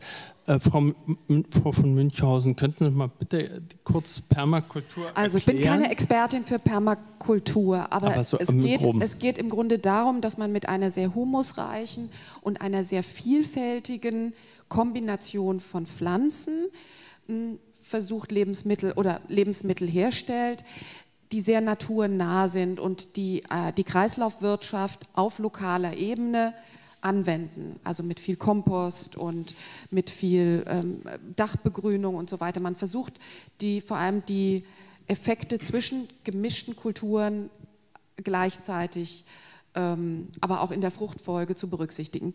Ist das so richtig ungefähr? Ungefähr.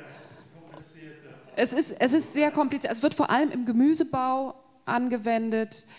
Ähm, und es ist sehr, also es ist sehr Know-how-intensiv, dass man nicht keine geringeren Erträge hätte und ähm, es ist arbeitsintensiv. Und die Systeme, die wir bei uns haben, und ich meine, Landwirte treffen jeden Tag Entscheidungen, wie sie produzieren, so oder so, und das sind rationale Entscheidungen, meistens jedenfalls. Sehr viele Entscheidungen haben mit dem Risiko zu tun. Wenn Sie Spritzmittel nicht einsetzen, sondern versuchen, das naturverträglich und auf Nützlinge warten und so weiter, dann kann das gut gehen. Und man kann unter Umständen, so wie Sie skizziert haben, Kosten einsparen und die gleichen Erträge haben. Man kann aber auch bei einer ungünstigen Witterung das Risiko haben, dass man wirklich sehr, sehr hohe Verluste hat. Und in dem Moment, in dem man entscheidet, spritze ich jetzt oder spritze ich nicht, muss man eine Risikoentscheidung treffen. Und das ist ein Element, was sehr häufig, wenn wir von draußen reinschauen und sagen, naja, wäre doch jetzt auch gut gegangen ohne Spritzmittel beispielsweise, ähm, dass sie deshalb das einsetzen. Ich versuche nur zu erklären, wie der Prozess ist. Ich rechtfertige das nicht. Ähm, aber das Verfahren, das Verfahren ist relativ einfach und relativ sicher in der Vergangenheit gewesen. Die Landwirte wissen jetzt auch, sehr viele, dass sich das zukünftig ändern wird und dass sich auch deshalb etwas ändern muss, weil die Spitzmittel nicht mehr zur Verfügung stehen, weil es Resistenzen immer mehr gibt. Also es hat sich das Wissen auch äh, durchgesetzt, dass es so nicht weitergehen kann, Trotzdem gab es jetzt diesen Rollback, der eigentlich irrational ist, der mich persönlich auch ein bisschen verzweifeln lässt, weil ich dachte, wir sind eigentlich schon an einem Punkt, wo wir in Richtung diverse Fruchtfolgen gehen können, reduzierter Pflanzenschutzmitteleinsatz, reduzierter Düngemitteleinsatz. Und jetzt ist diese rückwärtsgerichtete Bewegung nicht nur bei der Nachfrage, sondern auch bei der Erzeugung. Ich würde gerne also es ist ganz spannend und ich glaube, wir könnten über Landwirtschaftspolitik und Praxis äh, noch drei Abende äh, machen. Aber ich möchte nochmal einen Neuansatz äh, gehen, dass wir wirklich, äh, die Veranstaltung heißt Biodiversität äh, verstehen und priorisieren. Wir haben irgendwie das auch benannt im groben, aber ich bin mir noch nicht so sicher, ob wir das wirklich verstehen. Also, muss ich doch die Brille, äh, das ist mein Leid. Ähm, verstehen wir eigentlich richtig, sag ich mal, Flora, Fauna und wo ist der Mensch dann? Also der Mensch mittendrin, der Mensch gegenüber und ähm, brauchen wir vielleicht ein ganz anderes Denken. Wir sind in einem Denken, die Dinge sind uns gegenüber und wir sehen gar nicht, dass wir Teil Teil der Natur, der Schöpfung oder wie auch immer man das denkt. Frau Böning-Gese, was sagen Sie, brauchen wir ein anderes Denken, um überhaupt dann auch zu anderen Lösungen oder dann auch zu anderen Verhaltensweisen zu kommen? Ich denke, das ist eine wichtige Komponente. Also wir haben in Deutschland, vielleicht in Mitteleuropa insgesamt, diese Tradition, dass wir einmal sozusagen Natur einfach nutzen, gedankenlos, zum Teil einfach auch ausbeuten, vielleicht auch aus ökonomischen Rahmenbedingungen. Aber wir haben auf der anderen Seite auch so einen sehr romantischen Ansatz an Naturschutzgebiete und dass da keine Menschen rein dürfen und dass, äh, dass da entweder ein echter oder ein gedachter Zaun drumherum ist und dass die Natur empfindlich ist und, ähm, und dass der jeglicher äh, Tätigkeit des Menschen auch böse und schlecht ist für die Natur. Und was wir eben entwickeln sollten, ist diese Frage, also ich würde das mit der Gegenüber der Natur als, als schönes Bild sehen, dass, die, dass wir einmal natürlich Teil der Natur sind, wir sind im Lauf der Evolution aus der Natur entstanden, wir sind mit der Natur immer noch auf Millionen Arten verknüpft und verbunden. Und ähm, die Natur als, als Gegenüber zu sehen, ähm, wäre der Ansatz. Und in gewisser Weise vielleicht auch das, was Sie machen, dieses das Gärtnern, äh, die Kulturlandschaft. Das ist was Besonderes, was wir in, Europa haben, wo wir eigentlich eine uralte Tradition haben.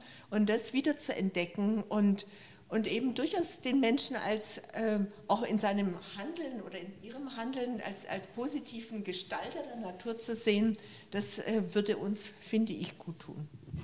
In der Theologie gibt es die Bewegung sozusagen, also Genesis 1, äh, also sagen, der Mensch sozusagen macht euch die Erde untertan und die Exegeten sagen heute seit einiger Zeit, naja, das ist nicht der Herrschaftsauftrag, sondern es ist ein Hüteauftrag und ein Mensch sollte man eher als Gärtner sehen.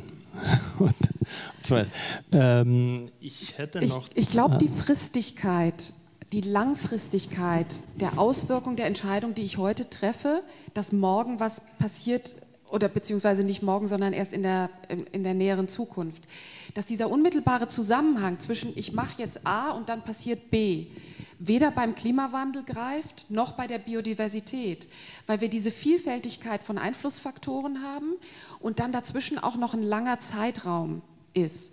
Und das macht es, glaube ich, für die Menschen so schwierig, ein anderes Denken zu haben. Weil wir in unseren täglichen Routinen leben und sagen, naja, ich mache jetzt heute so und mache morgen so und so, aber ich spüre ja nicht direkt, dass meine Entscheidung, die ich jetzt treffe beim Einkaufen, etwas darüber aussagt, ob die Feldlerche ausstirbt oder nicht. Weil die stirbt langsam, über zehn Jahre aus. Und ich müsste eigentlich hergehen und wirklich immer meine Milch von einem ökologisch wirtschaftenden Betrieb oder von einem, der Lärchenfenster anlegt und hätte das am liebsten auf der Packung auch noch drauf, damit ich jetzt entscheiden kann, damit die Lerche im nächsten Frühjahr brütet und auch in zehn mhm. Jahren noch da ist. Und da sind so viele Schritte dazwischen und da sind noch so viele Einflussfaktoren, die jetzt bei der Lerche noch relativ einfach sind, die ja bei Pflanzen äh, wahnsinnig kompliziert sind oder auch bei, bei anderen Tierarten, also bei der Biodiversität, dass wir über schlaue Steuerungsmechanismen, die diese Verknüpfung schaffen zwischen, ich entscheide mich heute für A und meine Entscheidung geht in die richtige Richtung, damit wir nicht diesen extremen Artenschwund auch noch wirklich in hm. zehn Jahren zu spüren haben. Und da müssen wir schlauer werden. Wir müssen schneller schlauer werden. Da könnte ich, ich würde gerne darauf antworten, aber zuerst äh, lasse ich den Herrn am Mikrofon ran. Ja, nochmal vielen Dank. Darf ich nur mal zwei Sätze zur Permakultur sagen? Es gibt natürlich ja in Frankfurt äh, kleine Projekte von den sogenannten Gemüseheldinnen, Gemüsehelden, die über Frankfurt verteilt zwei, drei Projekte haben, wo sie dran arbeiten. Einer davon ist oben im Güntersburg-Park. Und jetzt mache ich mal ein bisschen Eigenwerbung. Ich bin bei ja, ja, das ist sehr gut, das ist erlaubt. Danke. Ich bin bei der Greenpeace-Gruppe hier in Frankfurt und wir machen einmal im Monat eine Radiosendung bei Radio X am vierten Freitag immer 16, 17 Uhr. Und unsere Juni, nee, jetzt muss ich gerade überlegen, was haben wir jetzt, September, August, äh, Juni-Sendung ging genau um dieses Thema Permakultur. Wenn ihr Interesse habt, schaut mal nach auf der Internetseite, da geht es so rund 40, 45 Minuten genau um das Thema. Aber deshalb hatte ich mich nicht angestellt. Ich wollte jetzt auch nochmal auf den Titel zurückkommen, das Thema Artenschwund, Biodiversität etc. Man kennt ja das Argument im Hinblick auf den Klimawandel. Naja, Klimawandel hat es schon immer gegeben. Wenn ich dann höre, dass wir das sechste Artensterben vor der Auge haben, wie einmal, da kommt mir auch immer der Gedanke, ja, was wird denn passieren, wenn das passiert? Ich meine, die Welt ist deshalb nicht abgestürzt oder das Licht ausgegangen oder wie auch immer. Ich meine, ihr erwartet jetzt nicht von Ihnen, dass Sie mir da jetzt ein Bild an die Wand werfen, welche Lebewesen es dann geben wird. Aber können Sie das so grob skizzieren, was da in der Wissenschaft, was weiß ich, angegangen, gedacht, untersucht, geforscht wird? Danke. Wir können das ganz schlecht vorhersagen, weil die Biodiversität so ein komplexes System ist, dass wir nicht wissen, wie viel wir da an Individuen und Arten rauszippeln können aus diesem Netz, das uns in gewisser Weise trägt, bevor das Netz reißt. Und ähm, selbst die besten Kolleginnen und Kollegen, die ich habe, die kommen allesamt zu der Aussage, wir werden es wahrscheinlich erst merken, wenn es zu spät ist. Also es gibt in der Biodiversität möglicherweise nicht diese, also einfach zu berechnenden Kipppunkte, die jetzt die Klimaforscherinnen fürs Klima schon äh, einigermaßen vorhersagen können. Wir können sagen, dass es eher kontinuierlich den Bach sozusagen runtergeht, indem ähm, wir gar nicht so eine lange Situation haben, wo es erstmal gut geht und dann zusammenbricht, sondern dass wir kontinuierlich und schleichend ähm, Arten und Individuen verlieren. Und äh, wann dann wirklich Systeme zusammenbrechen, können wir nicht vorhersagen.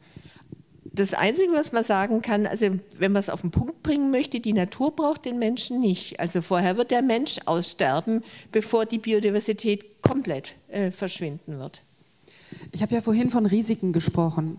Und das ist, glaube ich, ein ganz wichtiger Punkt bei der Biodiversität, dass wenn die zu stark schrumpft, die Risiken einfach extrem groß werden, dass wenn bestimmte Pflanzen plötzlich nicht mehr gedeihen, weil äh, Krankheiten sich ausbreiten.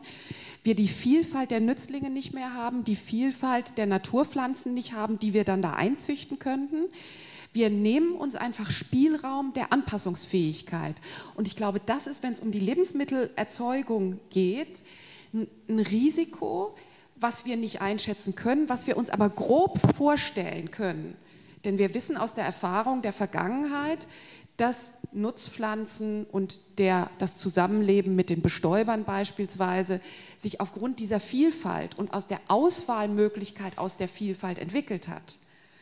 Und der Umkehrschluss ist natürlich dann ganz einfach, wenn das extrem wenig wird, haben wir viel weniger, um dann, und wenn es auch über Gentechnik oder ob es über traditionelle Zuchtmethoden ist oder auch neue Kulturpflanzen, die reinkommen, die stärker angebaut werden, sowas wie Exoten wie Amaranth jetzt beispielsweise, ähm, Hirse wieder angebaut wird. Da gab es in der Vergangenheit unglaublich viele Sorten. Und wenn wir denken, mit dem Klimawandel brauchen wir solche Nischen eigentlich wieder viel mehr, weil sie in dem Klimawandel viel besser da sind, dann wäre das so ein riesiges Risiko, wenn wir davon nur noch zwei, drei Arten übrig haben, anstatt wirklich ein ganz, ganz breites Spektrum. Und von dem Hintergrund, abgesehen davon, dass es mir schmerzt, wenn ich sehe, dass irgendwelche Wildtiere aussteigen, auch vor diesem Risikogedanken wird mir richtig bange.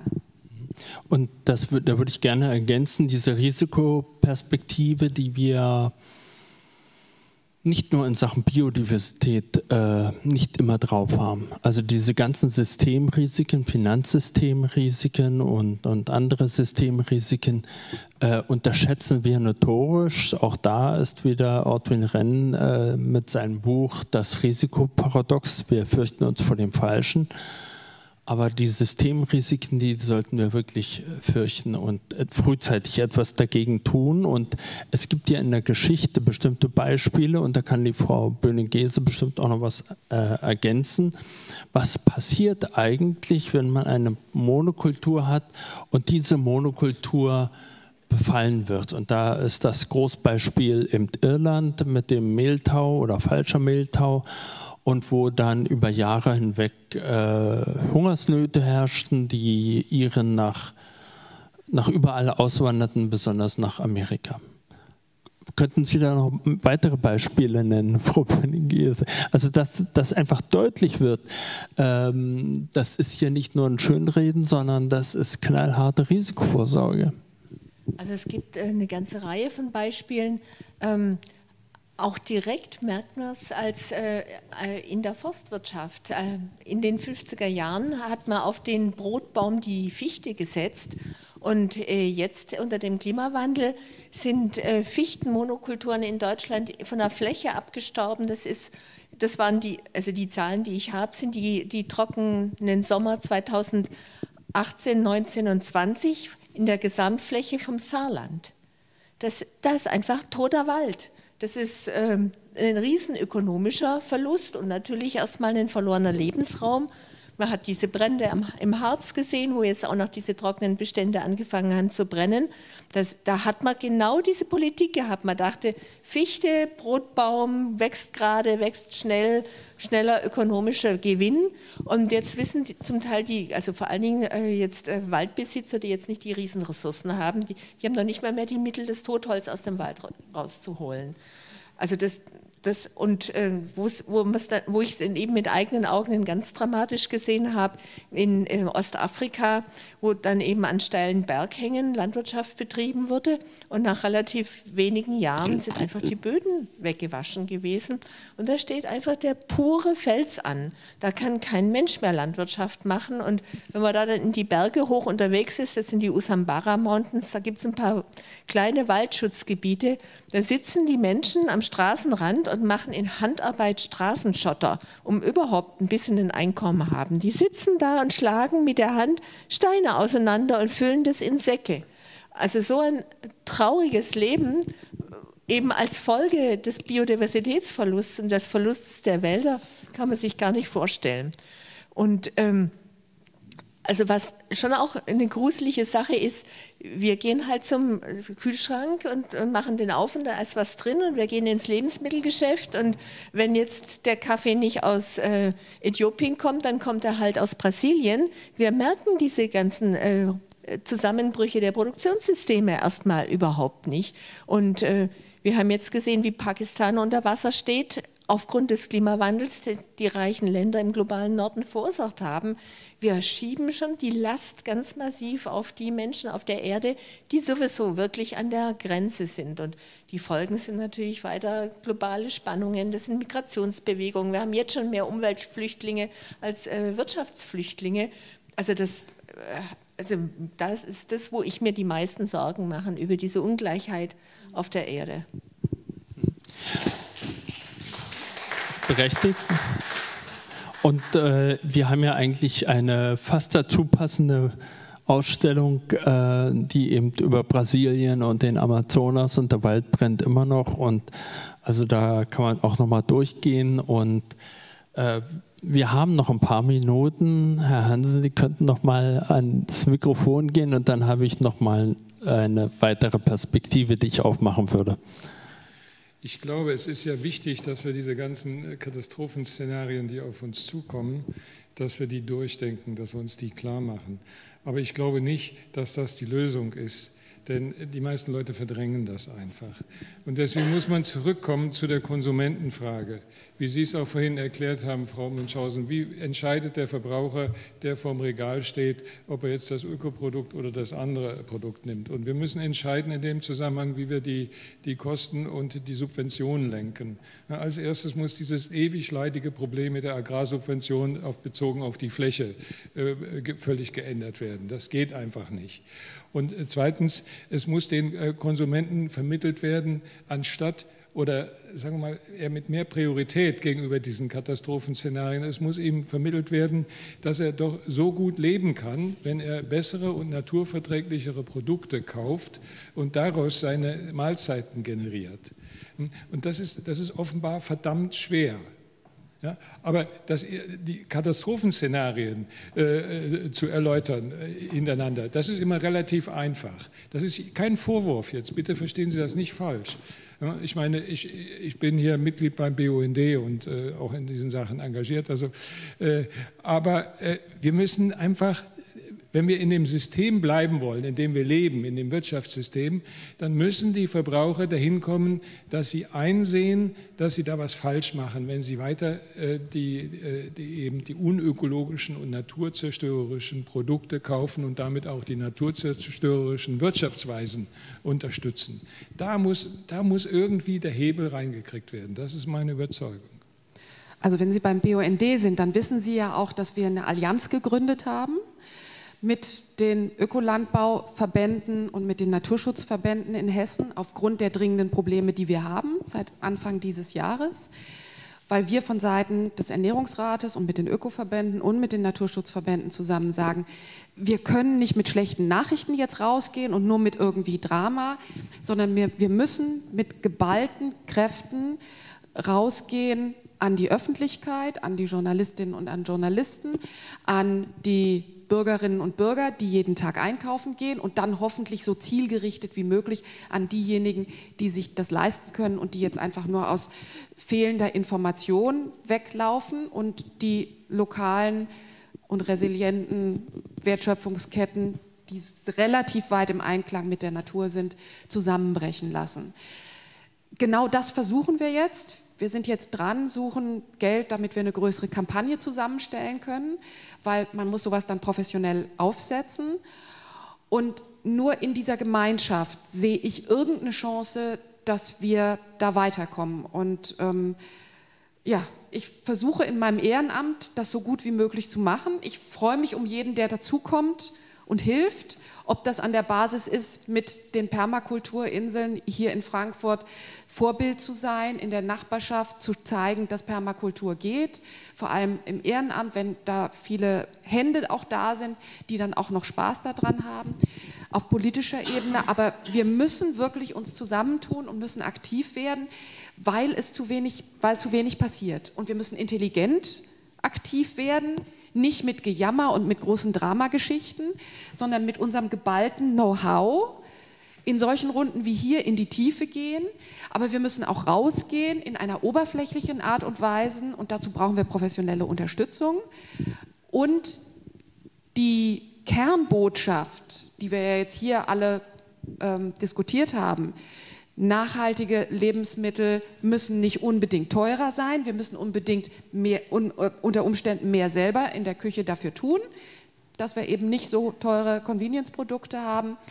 Und die müssen so erzeugt sein, dass sie bio und regional oder nachhaltig und regional aus unseren Kreislaufen. Dann tun wir auch was für unsere regionale Wertschöpfung für unser Grünland, die Schafe, die Sie vorhin erwähnt haben, die extensiv gehaltenen Rinder in unseren Mittelgebirgsregionen.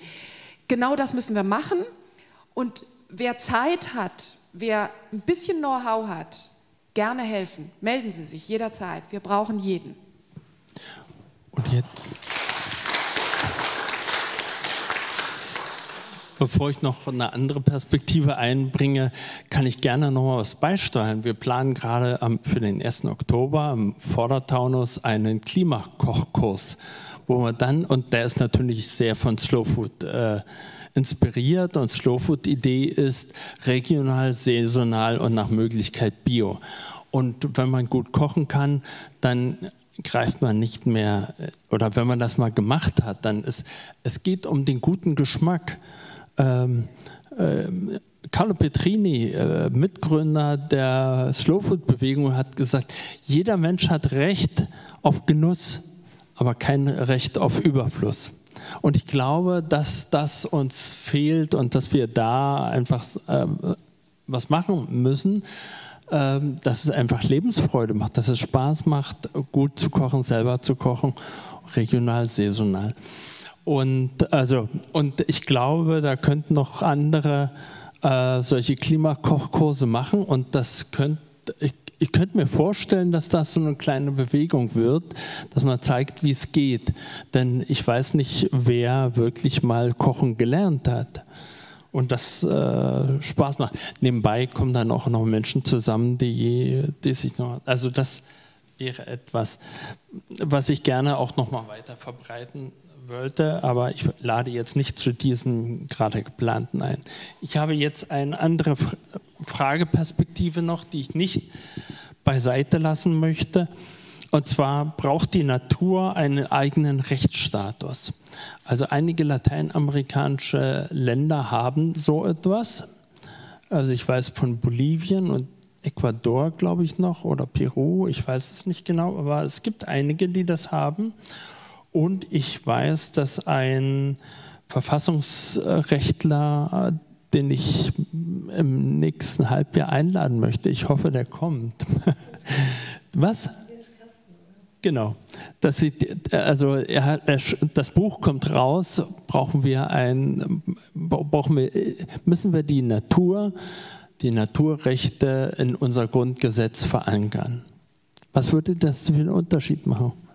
Sie sind da weiter drin. Ich kann da äh, auch nur auf den Kollegen verweisen. Also, und das, also das Thema haben wir jetzt in der Leopoldina aufgegriffen mit dem Jens Kersten zusammen und einem anderen Kollegen, ähm, dem Helmut Trischler, von, ähm, der dieses ähm, Rachel Carlson äh, Zentrum in, in München leitet, mit dem Herrn Mauch zusammen. Das sind eben diese deutschen geisteswissenschaftlichen Bewegungen, um andere Vorstellungen von Natur äh, zu diskutieren und auch in der, in der Wissenschaft voranzutreiben, ähm, um dieses Thema voranzubringen. Einmal als natürlich intellektuelle Übung, wie kriegen wir diese Vorstellungen ähm, aus Ländern des globalen Südens, Ecuador, gibt es die Idee der Pachamama, äh, der, der ähm, Natur als, als ähm, als eine Rechtspersönlichkeit, die das Recht hat, erhalten zu bleiben und ihren Zyklen, ähm, die natürlichen Zyklen durchlaufen zu können, wie man das in unsere Sprache übersetzt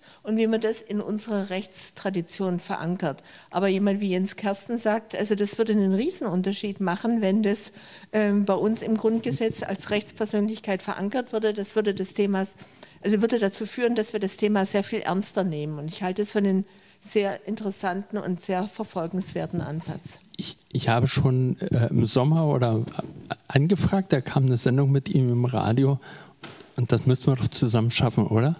Dass wir ihn in Frankfurt kriegen. Ob wir das hier machen oder im Senckenberg, aber den kriegen wir. Am 2. Oktober äh, kommt wohl sein Buch raus und äh, das wäre mir wichtig, vor allen Dingen, weil dann äh, wir hatten, ach, was ich, 2018 hatten wir eine ähm, Finanzsystemtagung gehabt. Und da ging es um die Risikoberichte der EZB und auch des äh, Financial äh, der, der BIZ ja, und da ging es um ja, welche, welche Risiken bringt denn der Klimawandel für äh, das Finanzsystem und da war ein Thema eben ähm, Rechtsrisiken. Also ich kann klagen gegen bestimmte Praktiken. Und das haben wir in den letzten Jahren gesehen und zum Beispiel auch gerade äh, hinsichtlich der äh, Jugendlichen, die dann sagen, wo der Bundesgerichtshof dann gesagt hat, also äh, so wie das Klimapäckchen jetzt aussieht, sind die Rechte der kommenden Generationen beschnitten, also die Freiheitsrechte, mit die ja mal gerne benannt werden. Und äh, insofern müssen wir da weiter rangehen. Und wenn man dann das einklagen könnte gegen den gröbsten Missbrauch mindestens, dann käme man ja schon mal ein Stückchen weiter. Was meinen Sie? Genau, also das, wir haben vorhin darüber diskutiert, dass, dass, das eingepreist werden soll und dass das Finanzsystem und Wirtschaftssystem das eigentlich ähm, abbilden sollte. Das ist aber wirklich ein mühsamer Prozess.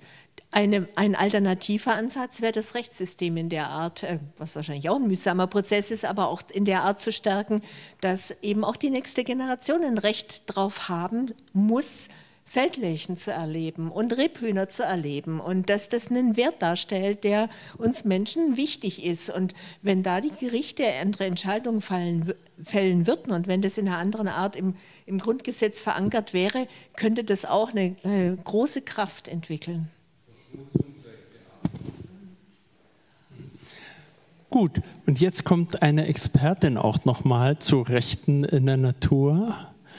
Und wir haben uns kennengelernt am 1. Juli, die politische Pflanze, und da waren wir auf dem Wissenschaftsgarten der Uni, also auf dem Campus Redberg. Du hast das Wort. Ja, äh, nur ich, äh, das Thema ist sehr interessant und tatsächlich möchte ich etwas über die Rechte der Pflanzen in der Stadtlabor der Demokratie im Historischen Museum ausstellen, aber das kam eher von der Didaktik der Biologie. Ich arbeite mit dem Phänomen der Plant Awareness Disparity, dass wir die Pflanzen nicht betrachten.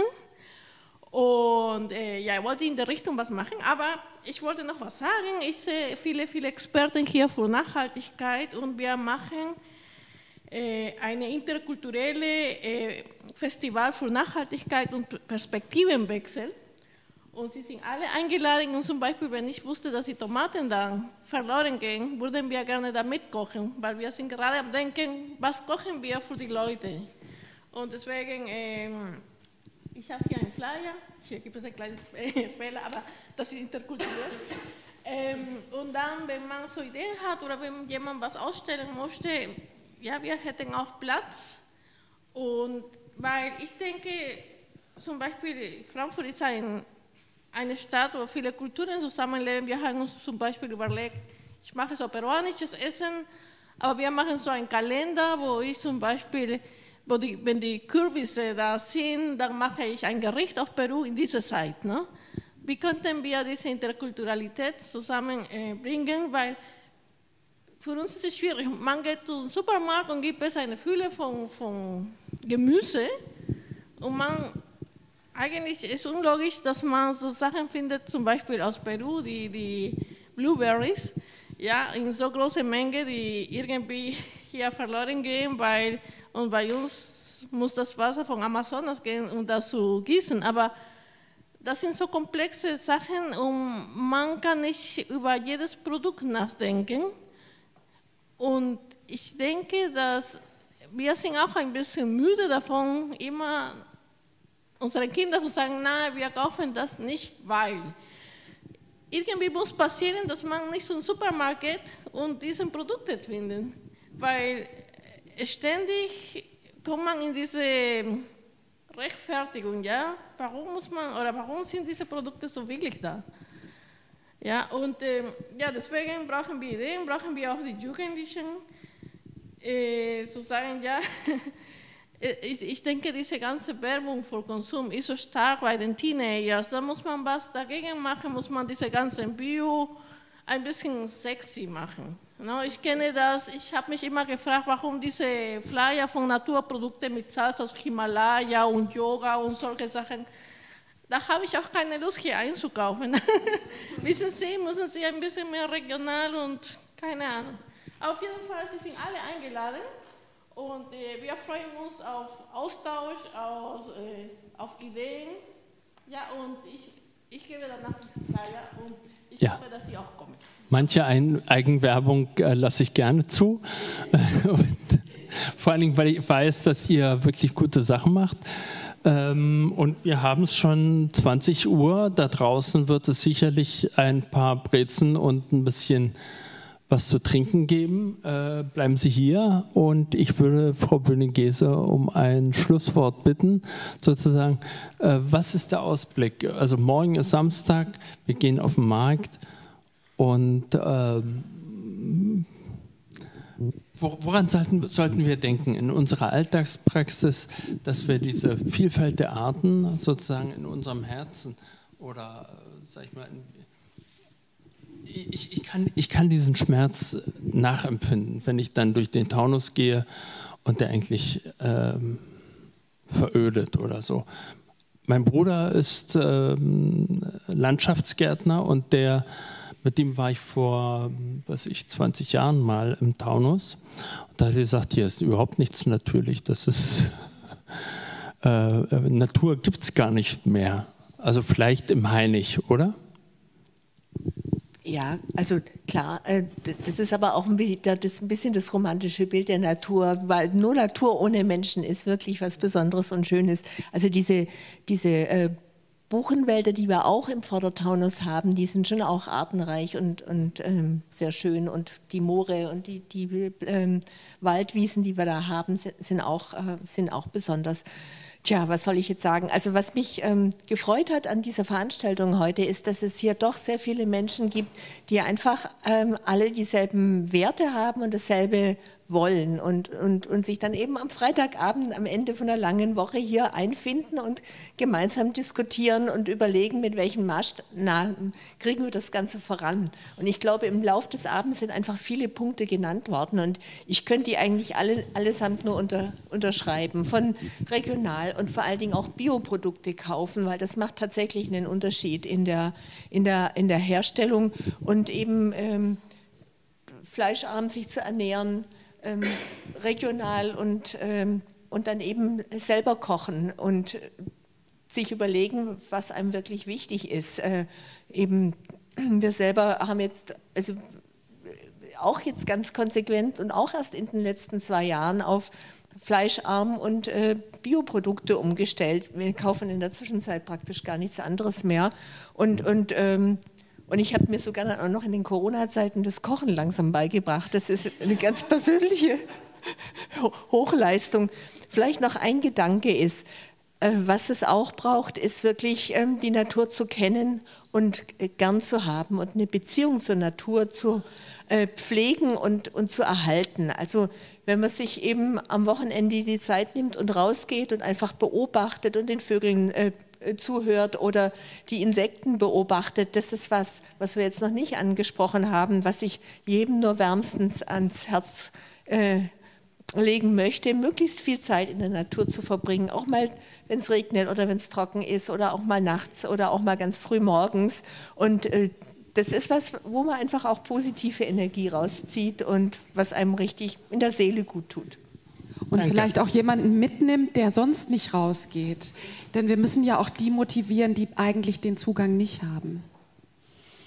Ja, kann der BUND mal eine kleine Wanderung machen?